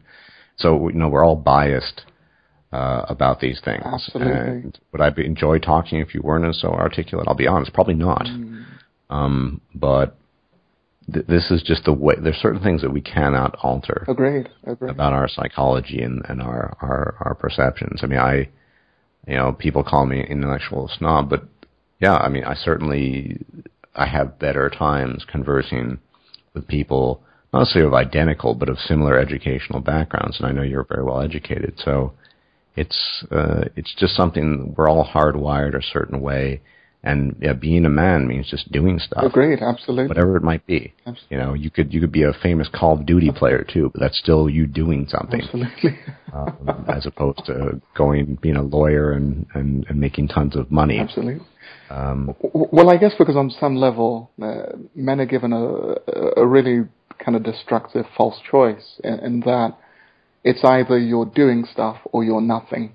You know, the, the, the, mm, you yeah. know, and, and well, I am nothing. For example, in the real world, absolutely. Um, you know, I for for work, uh, the channel does add some income. People know that, but. Mm. Uh, I do uh, editing and some translation, and but I'm, I don't see anyone, cl- clients, people I work with. Okay. I'll get uh, dissertations sent to me by students that I have to proofread. I don't, I don't see. So I'm, I'm, I'm invisible there, okay. but especially in the real world because all my work these days takes place outside of that. Yeah, you, you I am a nothing. Mm-hmm. Um, I'm, you know, I'm only something when I'm in a cafe ordering a meal or something, maybe because they expect me to pay them. But um, that that's something you kind of have to deal with.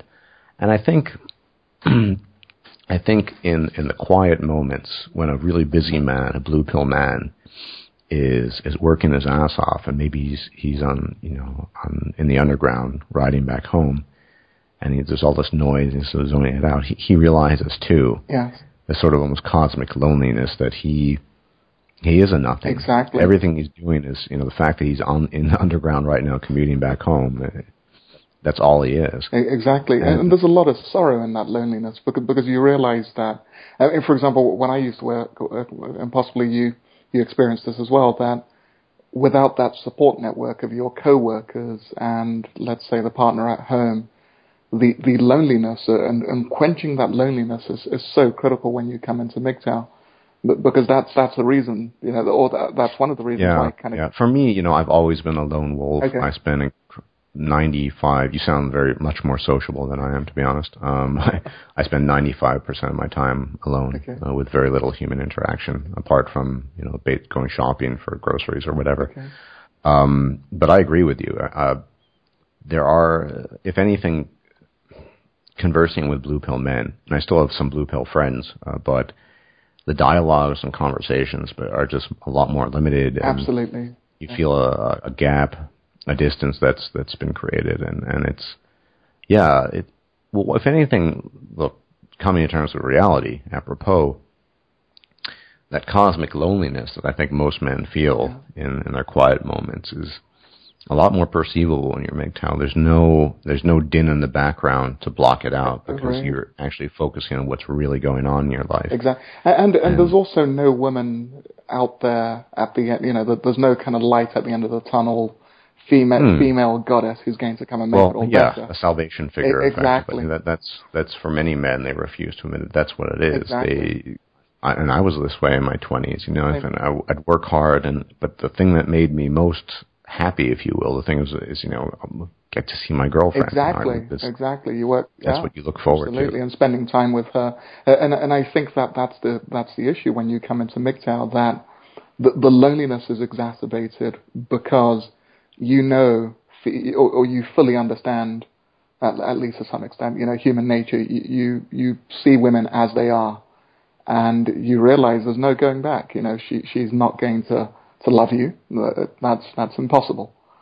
Mm, Can I ask you? I'm I'm fascinated. I mean, I if I might, sure. you you have reproduced, yes? Yes, yes, one child now. Uh, she's yeah, five. Um, right, and I've been meaning to ask this to MGTOW fathers of their daughters. I mean, you know, at some point in time, your daughter will almost certainly try to exploit men, extract resources, and possibly cause great, great destruction sure, in, lives, for, in their lives. For sure and in the same time, being genetically invested, you probably care about your daughter. And how, how does that work psychologically? I mean, have you thought about that? Yes, and, absolutely. Especially since I've come into MGTOW, and uh, uh, what what I tend to see is that I, I haven't had to wait a you know a long time to, to see the kind of male disposability uh, c- kind of come out even even in my own daughter. So, for example, you know, when, when I'm walking with her down the road, she'll just instinctively say, "Hey, Daddy, you walk on that side," so, so she can be on the safe side, you know, so, so I can be on the traffic side,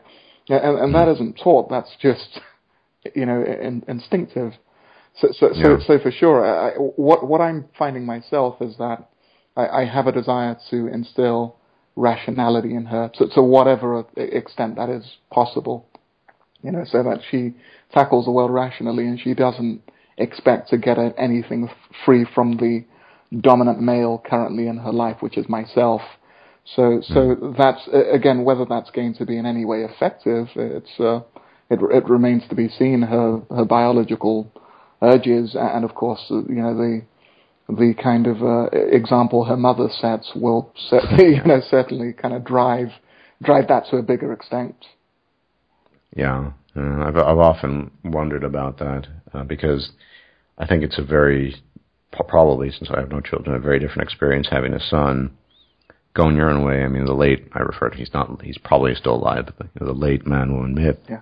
I know he has uh, or had or has a son, and um, you know he, him being married himself. He said you know many times he would never he'd say and tell his son don't get married, and so it's uh, it's I guess a, just a totally different way of looking at things, especially if you're going your own way and you're red pill, whether you have male or, or female offspring. Agreed, uh, absolutely, absolutely. Just from, if you don't mind me asking, of course, from your dialogue with other MGTOW who, who do have female female children, how are they kind of experiencing that process? Um, I actually haven't. That's why I asked okay. you. I haven't had an official dialogue. I just know that they're uh, MGTOW-minded men, red pill men who who have daughters, uh, and and in some cases, uh, you know, a girl writes what she's gone. Her she says you know, her daughter is sort of mildly autistic, so mm. that's not a standard case. Uh, I don't I don't really know. It'd be it would be I'd be very interested to see how they they go about things. But um, but, but, let's say for example, I mean, if if you know when my daughter's yeah, maybe twenty or, or twenty or thirty, or whatever, if if she wanted to get married to a guy, I would pull the boy aside and recommend he not do it. Really, Absol- that's very noble of you. Absolutely. Yeah. yeah. you know? Well, you know, I, I've often wondered about guys who are kind of on the cusp. Guys like Sargon of Akkad. Okay. I mean, he, he's not. He's married. He's got a kid, or at least two, or one point five. I think he. I'm not exactly sure of the details, but I know he has a son, and you know, I, I wonder if he, him being married, he would also say, look, because uh, I don't think things are going to improve. They're going to get worse oh, as time goes sure, on. For sure. so, is he going to tell his son, look, uh, you shouldn't get married? Uh, that that's that's a, I think that's a really great thing that you um, you know that you would and you know if you actually meet her boyfriends in the future, assuming she's not lesbian, of course. Uh, uh, maybe you can even have a dialogue with them. Oh, absolutely! I, I fully intend to. I'll, I'll sit them down and I'll, I'll explain, you know, female biology to them and say, look, um, you're you're you're not going to be having sex a lot the moment you put a ring on her finger. Like like and and again, mm. this is something that I will explain to my daughter as she grows up. That if you want to be in partnership with somebody, be in partnership. You don't need the states in between that relationship. But if you if you insist that a that a man put a rock on your finger and you know essentially waste his life away, uh, you know I, I will have that dialogue with him. Yeah, well, I think that's a great thing, and it's probably the best thing you can do. Look out uh, for your fellow man. Oh, absolutely. I I, I try to, um, but with blue pillars, it's you know it, it's just not even. I've had so many dialogues with with friends and people I know, and it's it's just not worth it because they don't they don't listen and they go on about things like NAWALT. I mean, most recently, I saw a comment on one of my videos that you know, girl writes what is in the wall. But I've had private conversations with Karen. She says, no, I'm not. I'm hypergamous, and here yeah, how I'm. Sure. Uh, what, are these people talking about? sure. Um, well, I, mean, I like Karen, but uh, doesn't mean she's in the walls. sure. Well, it's like uh, I remember one of your, your first videos that I that I watched. In fact, it was the the, the, the video on Briffault's law, and you said, look, mm. hypergamy is in the human female. It's not a case of whether you will encounter hypergamy it, it's the extent to, to, which she will display hypergamy. Yeah. You, you know, so, yeah. so whether it's 10% that she won't just leave you for a guy making a hundred grand extra than you, or whether it's a hundred percent where she will leave you for the guy who happens to have a better car. You, know. Yeah. Well, I mean, I think um, you noticed it. Uh, the the part of part of the uh, corollaries to Briffault's law is that you know the the recognition, I'm paraphrasing because I don't have it memorized actually, um, but the, the recognition of, of past services or the acknowledgement um, bears no no influence whatsoever sure. or effect on, on on the now. For sure. Uh, and I've experienced this so many times. Oh, absolutely. You don't ever get that from men. I find men have this this feeling of, of gratitude and an almost indebtedness to to deeds sort of rendered in their name. Absolutely. Uh, they remember it, they, and they, they do their best to honor it. For sure. Uh, women, rather magically, uh, or not magically, rather, um, they just they just move on. For sure. And uh, that, that's that's just the way they they are. For sure. I, I mean, look, uh, you know, when I when I met my my the, the lady I married, she didn't have any formal qualifications, and she told me after you know after we split that she pretty much found a boyfriend the moment I paid for her masters. Hmm, yeah. You were a good husband. I mean, she she got the good. She didn't have to work. Yeah. She got education from Absolutely. you. Absolutely. And the moment that education was paid for, and I'd given her her yearly allowance, uh, you know, in advance for the, the car and the you know everything. So that that's the kind of arrangement we have. I'll, I'll give her a yearly ad- allowance in advance, and then pay for any any extras uh, uh, as they came up. Once once she had that, she just went out and you know she found another boyfriend. Uh, that's that's that's just hypergamy. Yeah, resource extraction. exactly. Resources extracted. Move on. Exactly. Yeah, I, I you know, and, and it's it's funny that it Barbarossa has brought this up that the whole, you know, sex for stuff thing. It, it it's just it's like a it's just a switch. I my with my last uh, Korean ex, it was like that. You know, bought her a nice dinner, get laid. Yeah. Didn't, wouldn't get laid. It, it's just, you know, it's just a, a switch that they have, and it's it's rather incredible. But uh, that said, uh, you know, I, don't, I certainly don't hate women, but I agree. Sometimes I have to say their behavior does disgust me, even now. For sure, for sure. Uh, because it's just so alien to me and, and what men are familiar with. Absolutely. That you're just you're just left. I'm not so much wondering anymore, but it it does occasionally disgust me. I would never call it evil, but it, it's certainly dangerous. It, it, it you know the callousness. A-. Absolutely. So, so, so again, and, and, that's I guess where we're both in agreement with, with, you know that we don't they don't have to be evil to be avoided. Yeah, yeah. yeah. I mean, I I don't think women are evil, but you know. Um, uh, Zeus be damned, I'm, I'm not going to be associating with them on, on a regular basis. And, you know, sometimes I might flirt with them, but, you know, I, most recently, I was flirting with a girl, and uh, I've been running this social experiment for myself with seeing how I, uh, who knows, uh, basically this idea of, of sort of gift giving and see how men and women react differently, and they do react very differently. And uh, in one case uh, of a female, I gave her uh, more gifts than the others, which you know you could you could see the heightened attention I would get, and then just magically it goes back to baseline, and uh, it just sort of she doesn't talk to me anymore. Mm. And with men, it was um, these are mostly online acquaintances. It was um, and games. This is the gaming world, okay. but uh, you know nothing really changes. They are appreciative. We, sometimes we play a couple more, but there's none. Of, there isn't this sort of radical alteration in their behavior, and then it sort of just disappears. Where universally that's the case uh, in my this small social experiment I've been running with women and uh, yeah, it, it confirms everything I've already known and had encountered in actual relationships. Absolutely, I, I guess it's because on on some level, men, you know, a man receiving a gift won't dramatically alter his, his sexual response. You know, so so for example, let's say you're on a dinner yeah. date and she buys you a rose, that won't in any way, shape, or form make you want to sleep with her more if you really wanted to sleep with her. Uh, exactly, exactly. I mean, it's it's it's the same thing as uh, a highly ed- educated woman. Yeah, but is she hot? uh, if she's not, then you know, we can have a good conversation maybe about some subjects. But um, there are other things because let's face it, on the primal level, we're interested in youth and beauty. That hasn't, you know, I'm almost 40 and that hasn't changed. Exactly. I'm still checking out girls in their young 20s all the time. Great. Um, uh, I, I know, you know, I'm never going to have anything with them, but I still check them out. And I, I don't ever foresee that changing. That's just the way the male uh, psyche is. Great, absolutely. And, and I, I, remember I, I used to watch a lot of Patrice O'Neal, and he'd said something which I found hilarious at the time. He said, "Look, whether she's a two out of ten or a ten out of ten, it, it's the same headache. It, it, it's the same oh, crazy yeah. behavior. So, so, like, if you are going to kind of do it, she might as well be hot."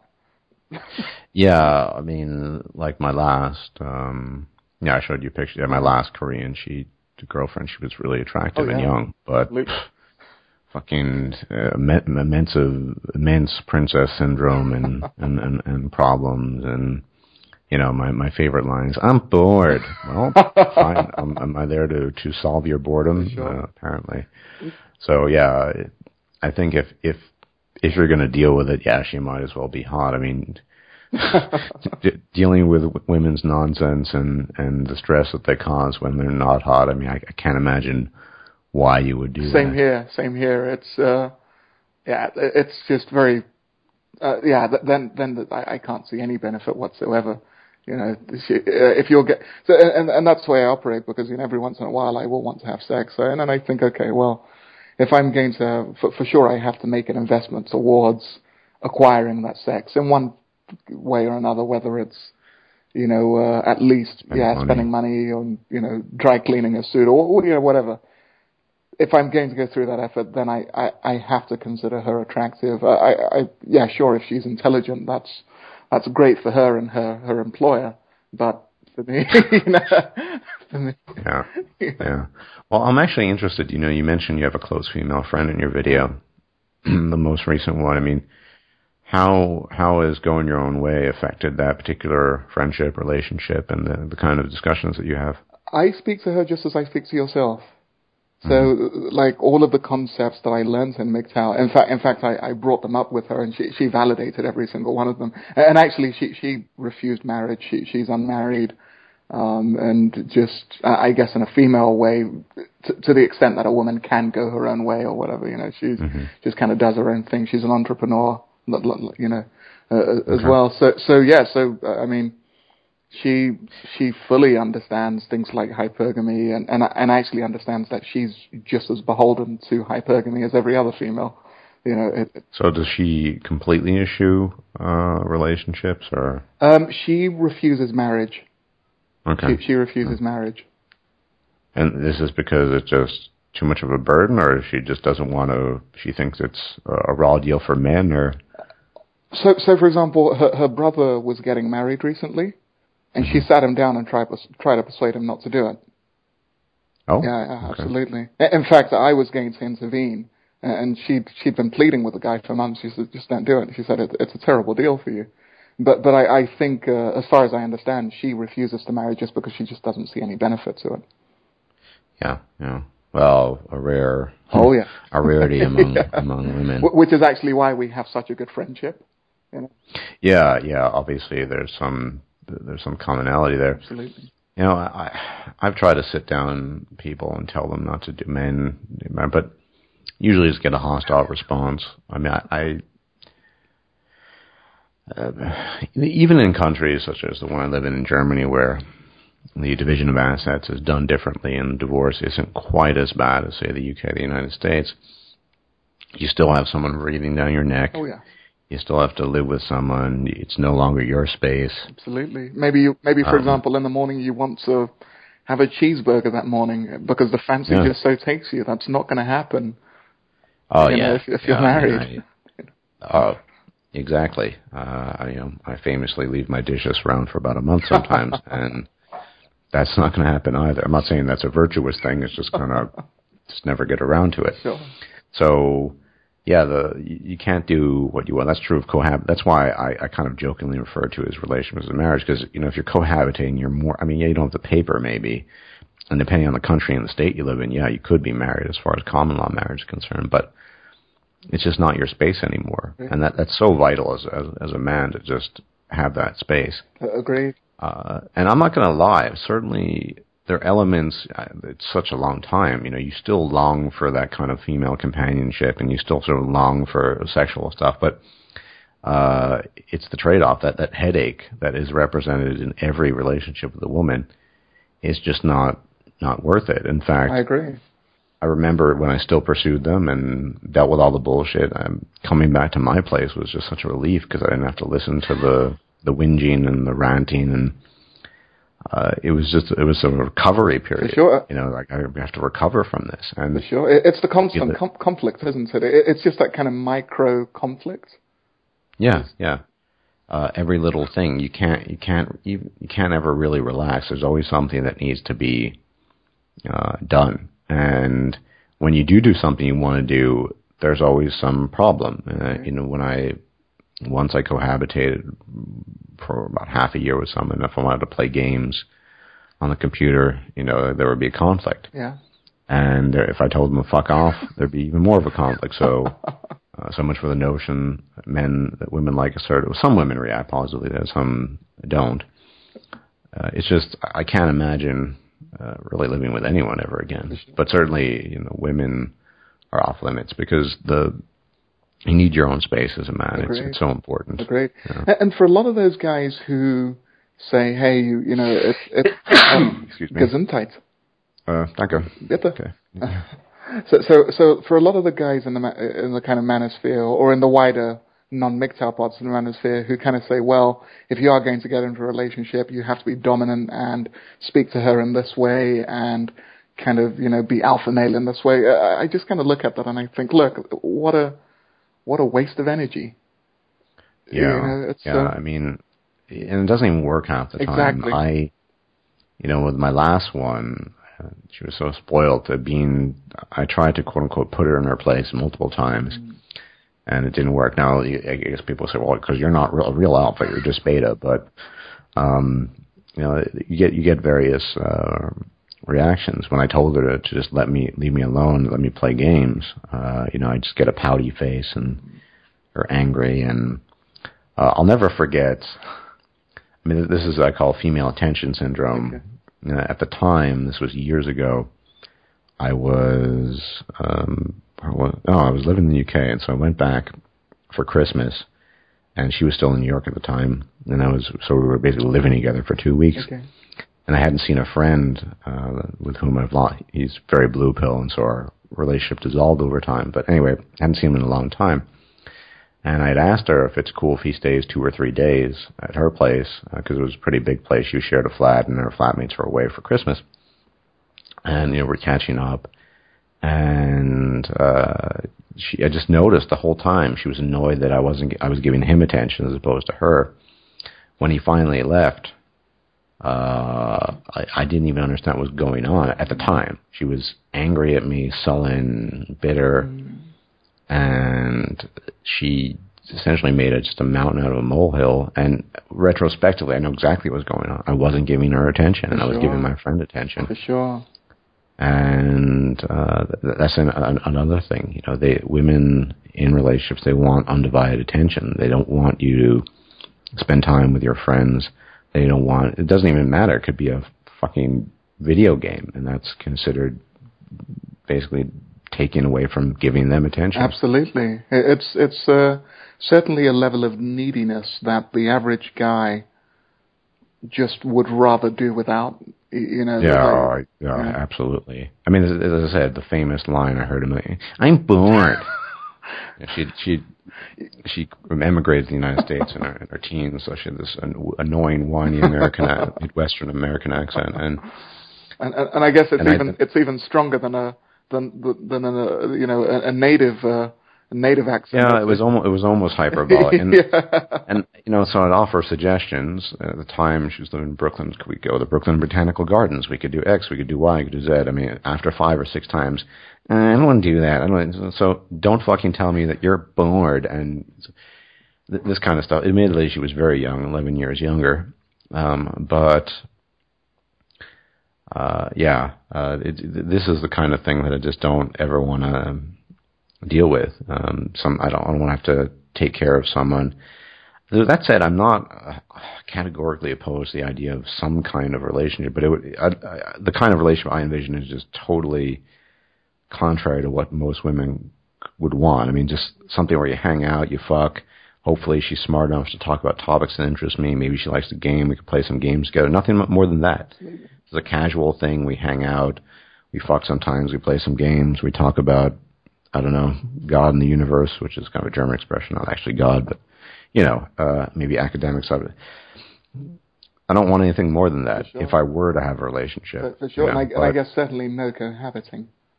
Oh yeah, no, no.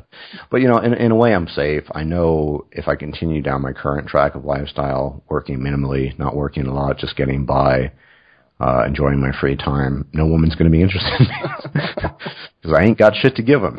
You know, um, that's uh, that's kind of almost like a guarantor that, that that's not going to even happen.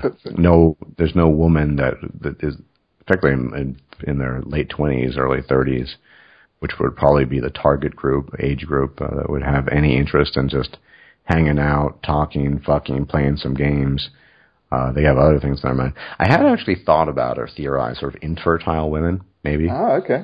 Or um, or women who there are some women don't want children. For sure, for sure. I, I do have a female friend like that. So she's dating a, a much older guy, and and she is very very clear. I mean, she's in her mid twenties. She's very very clear. She's like, I, I absolutely have no desire for children. Period. Mm. But but you know what what I do tend to see also is this that when you find a woman who's totally into what you do, so let's say for example she's a gamer as well, uh, and and I've seen this with a couple of friends. Usually it's it's it, maybe this is just a cynical part of me. It, it's usually a strategy to kind of fit in with a guy. Oh you know? yeah, I mean yeah yeah. I mean there are legitimate girl game. I mean this is oh, kind yeah. of a a topic in itself, but most games just uh, most women just play these sort of uh, phone application games. Yeah. They're not hardcore. But I I know um I know play with girl gamers on online. I've never met them, but you know they they seem to be okay people for the most part. But I mean they're still women and I would just say for myself any kind of relation shit or anything along those lines you would have to be at least into gaming because I don't want to have to go through the oh you know shut your trap I'm trying to game now exactly routine. You, you don't want to have to justify having hobbies that are external to to her exactly, world for sure. Exactly. Um, but you know even if they are gamers, they're still women, and um, you know the, the the reality is as well is that most women you can't have good conversations with. I know oh, this yeah. is a uh, no. terrible, a terrible thing to say, but uh, tend to be pretty vapid, and um, you know, you're bored out of your mind. Now, if they look good, you kind of just deal with it and say, "Oh, okay." But yeah, I mean, being a gamer really isn't enough. Agreed. Um, agreed. I recently flirted with a girl that you know we talked for a while, have been, we've known each other for a while. Um, significantly younger, attractive, but you know the con- I mean we yeah, we like games and like the same games, but conversations were fucking boring as hell for the most part. Oh, I I I, I know what you mean, uh, and and a, I guess I, I just have a you know a, a hypothesis that the genders weren't really supposed to communicate much. You know, guys mm. we find it far easier to communicate with other guys, and it, even when you have a guy who isn't, let's say, red pill, just from my experience, you can have far more of a dialogue, an interesting dialogue with a guy than than let's say just the average female out there. So I, I tend to find women have a particular form of communication that works well with other women. You know? Yeah, yeah.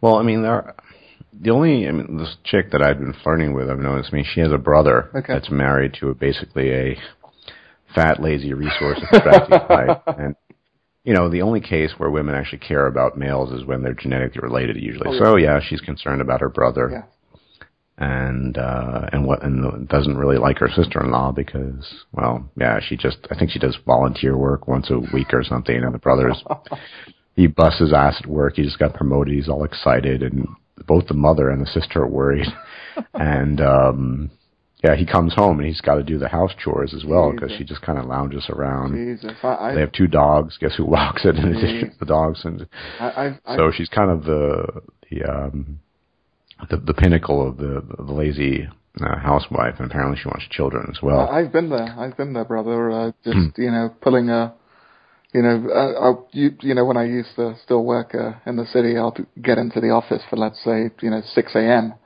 And and I'll finish up at eight o'clock at night, and I'll go home and there's, I'll, I'll still have to cook and then tidy up and clean up because we're all supposed to yeah. be equal, right? yeah, yeah, and so she, she's legitimately concerned, and, and in some way uh, that she knows that feminism is a bunch of bunk, and I, I don't think that would be as accessible to her if she didn't have a mother, a brother that she cared about that, you know, that's married to essentially a bitch of a woman. Oh yeah.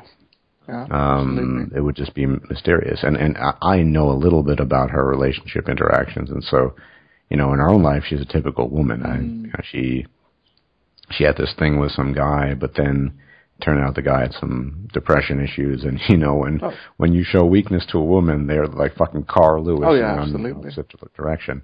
Uh, uh, so she's no different in that regard, but she at least um, sees the, the, the problems that uh, can arise in that. For sure, I I once uh, made the mistake of actually showing real weakness to a woman I, w- I was sleeping with at the time, and uh-huh. just the relationship broke down within a week. Of of you know, she she asked me, you know how things were, and I was very honest with her. I said, "Look, I'm having a terrible week because of X, Y, Z, and business isn't going well, and and this isn't, you know."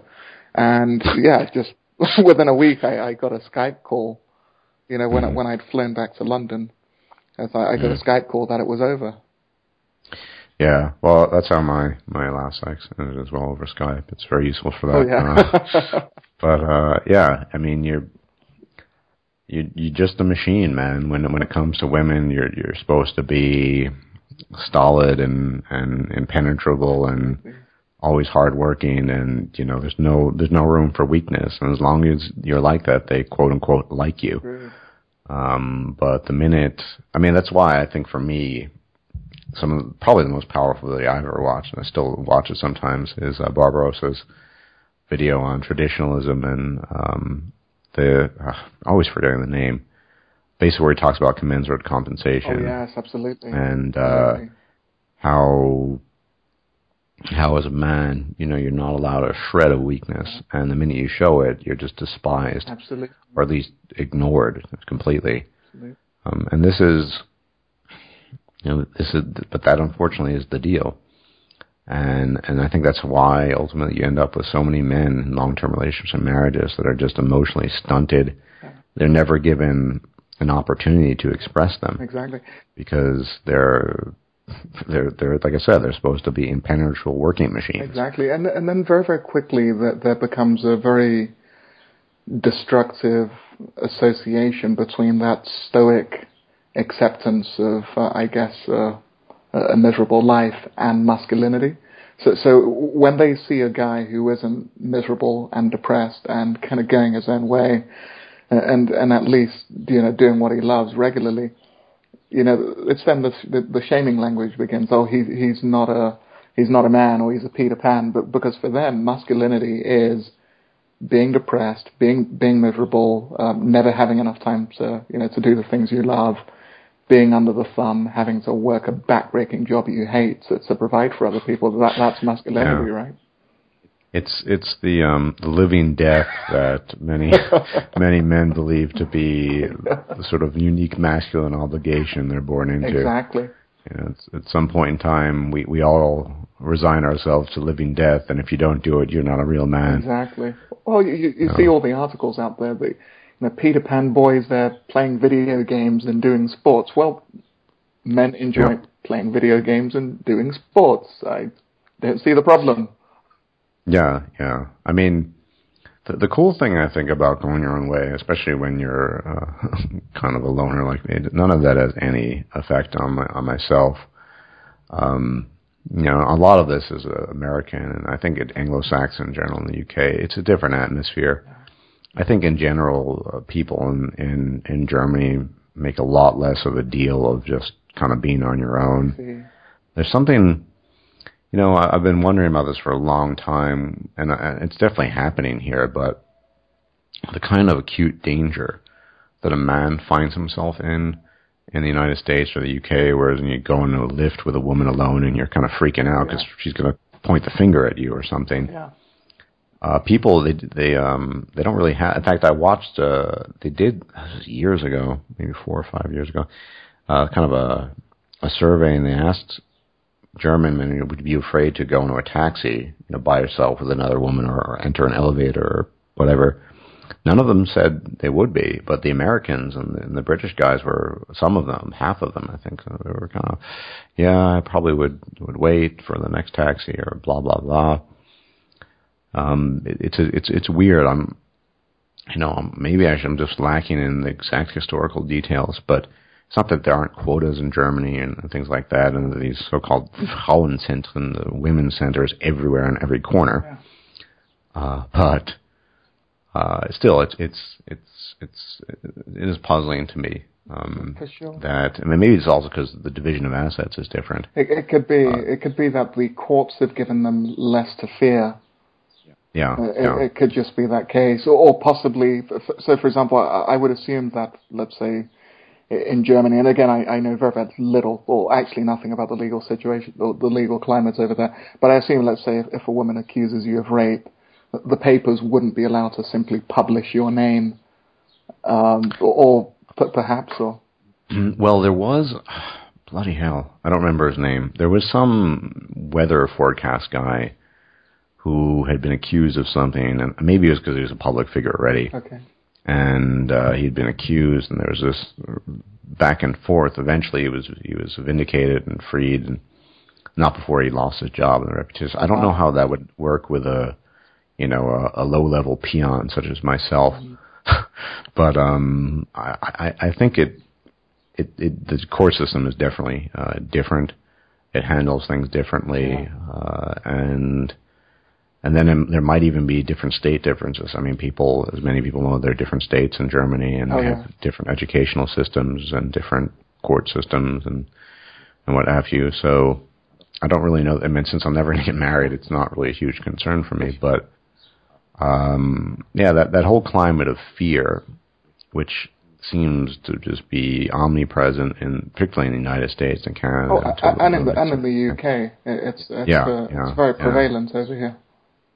Yeah, yeah. I mean, it's been it's been a couple of years since I've been there, uh, but yeah, it, it's certainly different. There's something about the Anglo-Saxon countries which um, you know, not women, of course, not different here. Oh yeah, I'm not saying that, but it's it's something maybe about the public institutions, the way things uh, are done. On the other hand, yeah, there there are these quotas for women in, sitting in business commissions and committees, and I I don't know. It, it, it's something I've been wondering about for years. Yeah, uh, why why it's so different? Whereas there aren't people do talk about the sort of systematic undermining of, of boys in the educational system here, but not nearly as much as in the United States. I have the feeling that basically institutionalized feminism in the Anglo-Saxon countries, and as well as in Oceania, I mean Australia, New Zealand, oh for sure, is a lot, a lot stronger than it is um, in Germany or in the Netherlands, because I, I, I you know talk um, I mean, this girl happens to be Dutch that I talk to sometimes, okay. and uh, yeah, she tells it's not that that bad.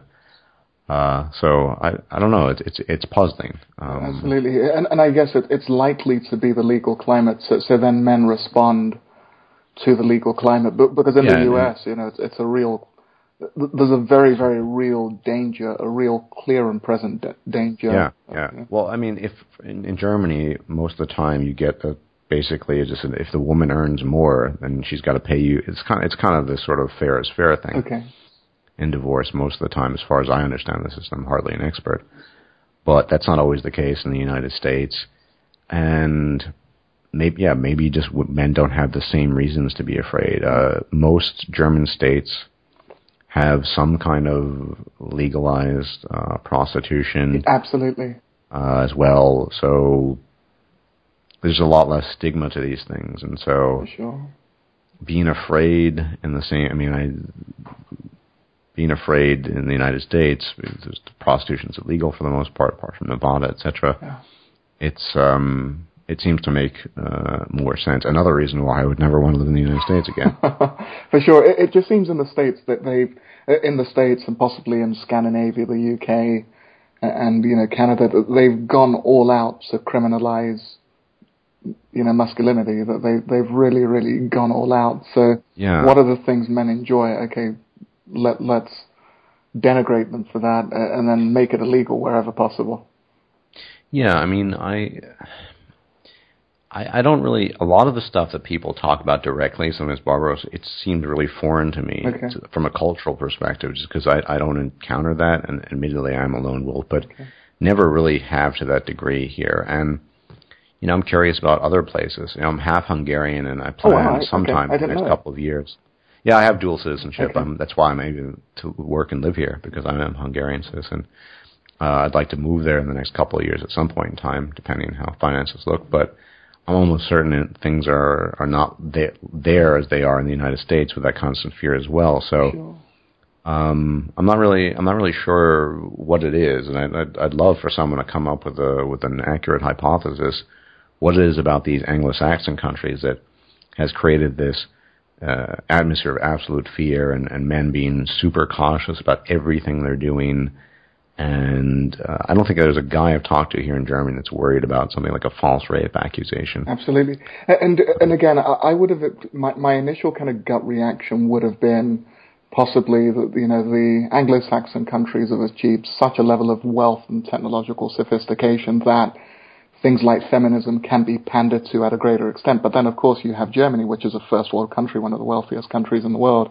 And, mm. and the pervasive fear isn't there amongst the males in the population. So yeah, for sure, it's it's something other than the fact that they got rich and now they can just hand women free shit and women have just run nuts with it. there is for, for sure. Yeah, I mean there are there are abuses of the I mean everything that exists in the abuse of the welfare system. There are these women centers sure. everywhere, and uh, men men of course don't have reproductive rights here. You know, if you get a girl pregnant, she she is the uh, the the jury, the judge, and the executioner in that in that particular regard. But it's just the one thing, as I said, is this this pervasive fear. Um, when Barbarossa talks about these, some of many of these things, it, it seems almost alien because it's been such a long time since I've lived consistently in the States. You know, all my adult, almost all apart from Asia, has been I spent in the UK and Europe, and so a lot of it just seems really alien to me. Sure. And I, I, would be curious to see what my subs, th- I mean, the European subs I have, think about that because uh, we we can all agree that you know these long term relationships with women are a waste of time, and yeah. we know about female nature, but uh, the, the, political or cultural manifestations do seem to be somewhat different. Yes, absolutely. Um, and then you get a really extreme case like India, and I can only read the stories. I've only been to India once on a visit, and uh, I do not, apart from the climate, I hate hot weather, but apart from that, I do not want to visit India anytime soon. It looks, it just looks horrific there. Especially seems, for males, it's so. Well, that's my uh, point. Yeah, it's it's so destructive. I mean, I guess in the U.S. you have a jail sentence to fear. In, in India, there's a possible lynching. Yeah, yeah. It, it's you know someone I'd love for someone to just maybe an academic to do the research at some point in time and really see where these minute differences because we know for example hypergamy divorce rates these are universals but yeah. why certain things are more permissible in certain cultures than others you know why the typical Dutch person Dutch man German man Hungarian man doesn't fear getting into a lift with a woman mm-hmm. but you know the guy in downtown New York might have some considerations and might wait for the next one. Sure. Um, there's something uh, about that, and there's something almost comical as well to to the degree of shit going on. I mean, in the Anglo-Saxon countries, if if it weren't just so ridiculous and and, and fantastical, the degree of how these feminists, you know, complain about ads of bikini women and and, and every little bit of nonsense. There would be no Sargon of Akkad. These guys are essentially making their livings off of it. And I just, you know, most Europeans look at that, even women, they just think, oh, it's, it's why, well, why are you doing all this shit? They just kind of get on with it, scoff at it, and get on with their lives. Well, it it shows the degree to which they're now comfortable because because you, you can only, I guess, complain about how skinny the, the you know the the woman in a in a bikini ad is if everything else is sorted out right. So if you have uh, mm. you know three meals a day and uh, you know a, a oh. free free roof over your head, you know. It's uh, yeah, for sure. As Barbarossa pointed out, right? I mean, if there were ever some disaster, these these women be sucking FEMA dick rather uh, quickly. Absolutely. In fact, it's funny you say that because I, I've just done a, uh, you know, I've recorded a, a, a video for for upload, and you're not going to believe this, or possibly you will, but you know they've had the, uh, the you know the debt crisis in Greece, and now the marriage rates are going up as the unemployment just kind of shoots shoots through the roof. So yeah, so, so women are actually getting married again, and and I and I recorded a, a, a you know just a quick uh, dialogue about that, but. uh it's you're completely right. If there is a global collapse, immediately sexual resources on the table again straight away. Yeah, there wouldn't be any Anita oh, Sarkeesians. Oh. I mean, Anita Sarkeesian, who I don't believe is legitimate. I think she just she's a businesswoman. Oh, yeah. I don't even think she believes the crap she peddles. But I've said this many times. But yeah, she she's the product of of of basically living the best possible time ever in the history of humanity, where it's just there's an abundance of everything. Exactly. There's cheap entertainment, cheap food, everything's available, and only in that particular uh, nest can something along the lines of Anita Sarkeesian grow and, and arise. There's just no, uh, you're not going to find it in the mountains of Afghanistan. Exactly, exactly. Or some poor village in Thailand. No, it's got to be, you know, wealthy, wealthy suburbanite America or wherever she comes from. Or I think she's Canadian. I have no fucking clue.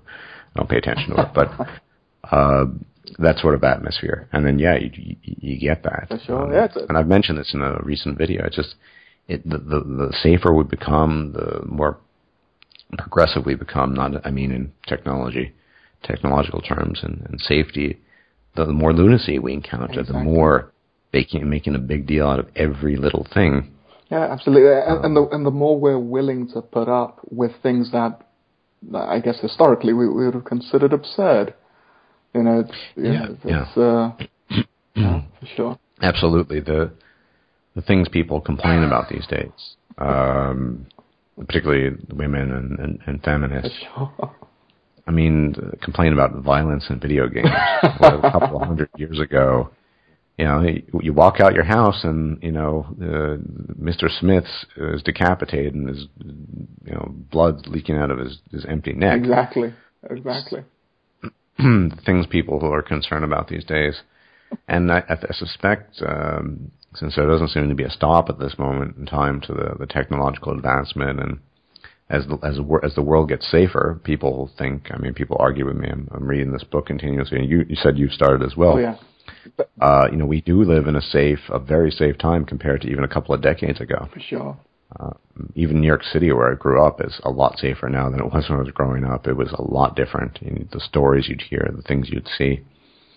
So yeah, I think all we can do is expect more of this insanity. And frankly speaking, I'm going to steer clear of that to the best of my ability. I have no desire to go back to the United States and live in that kind of insane atmosphere. And it doesn't seem to be affecting too many people here in Germany. Sure. And if I ever manage to make it to Hungary, then it hopefully it wouldn't affect too many people there as, as well. For sure.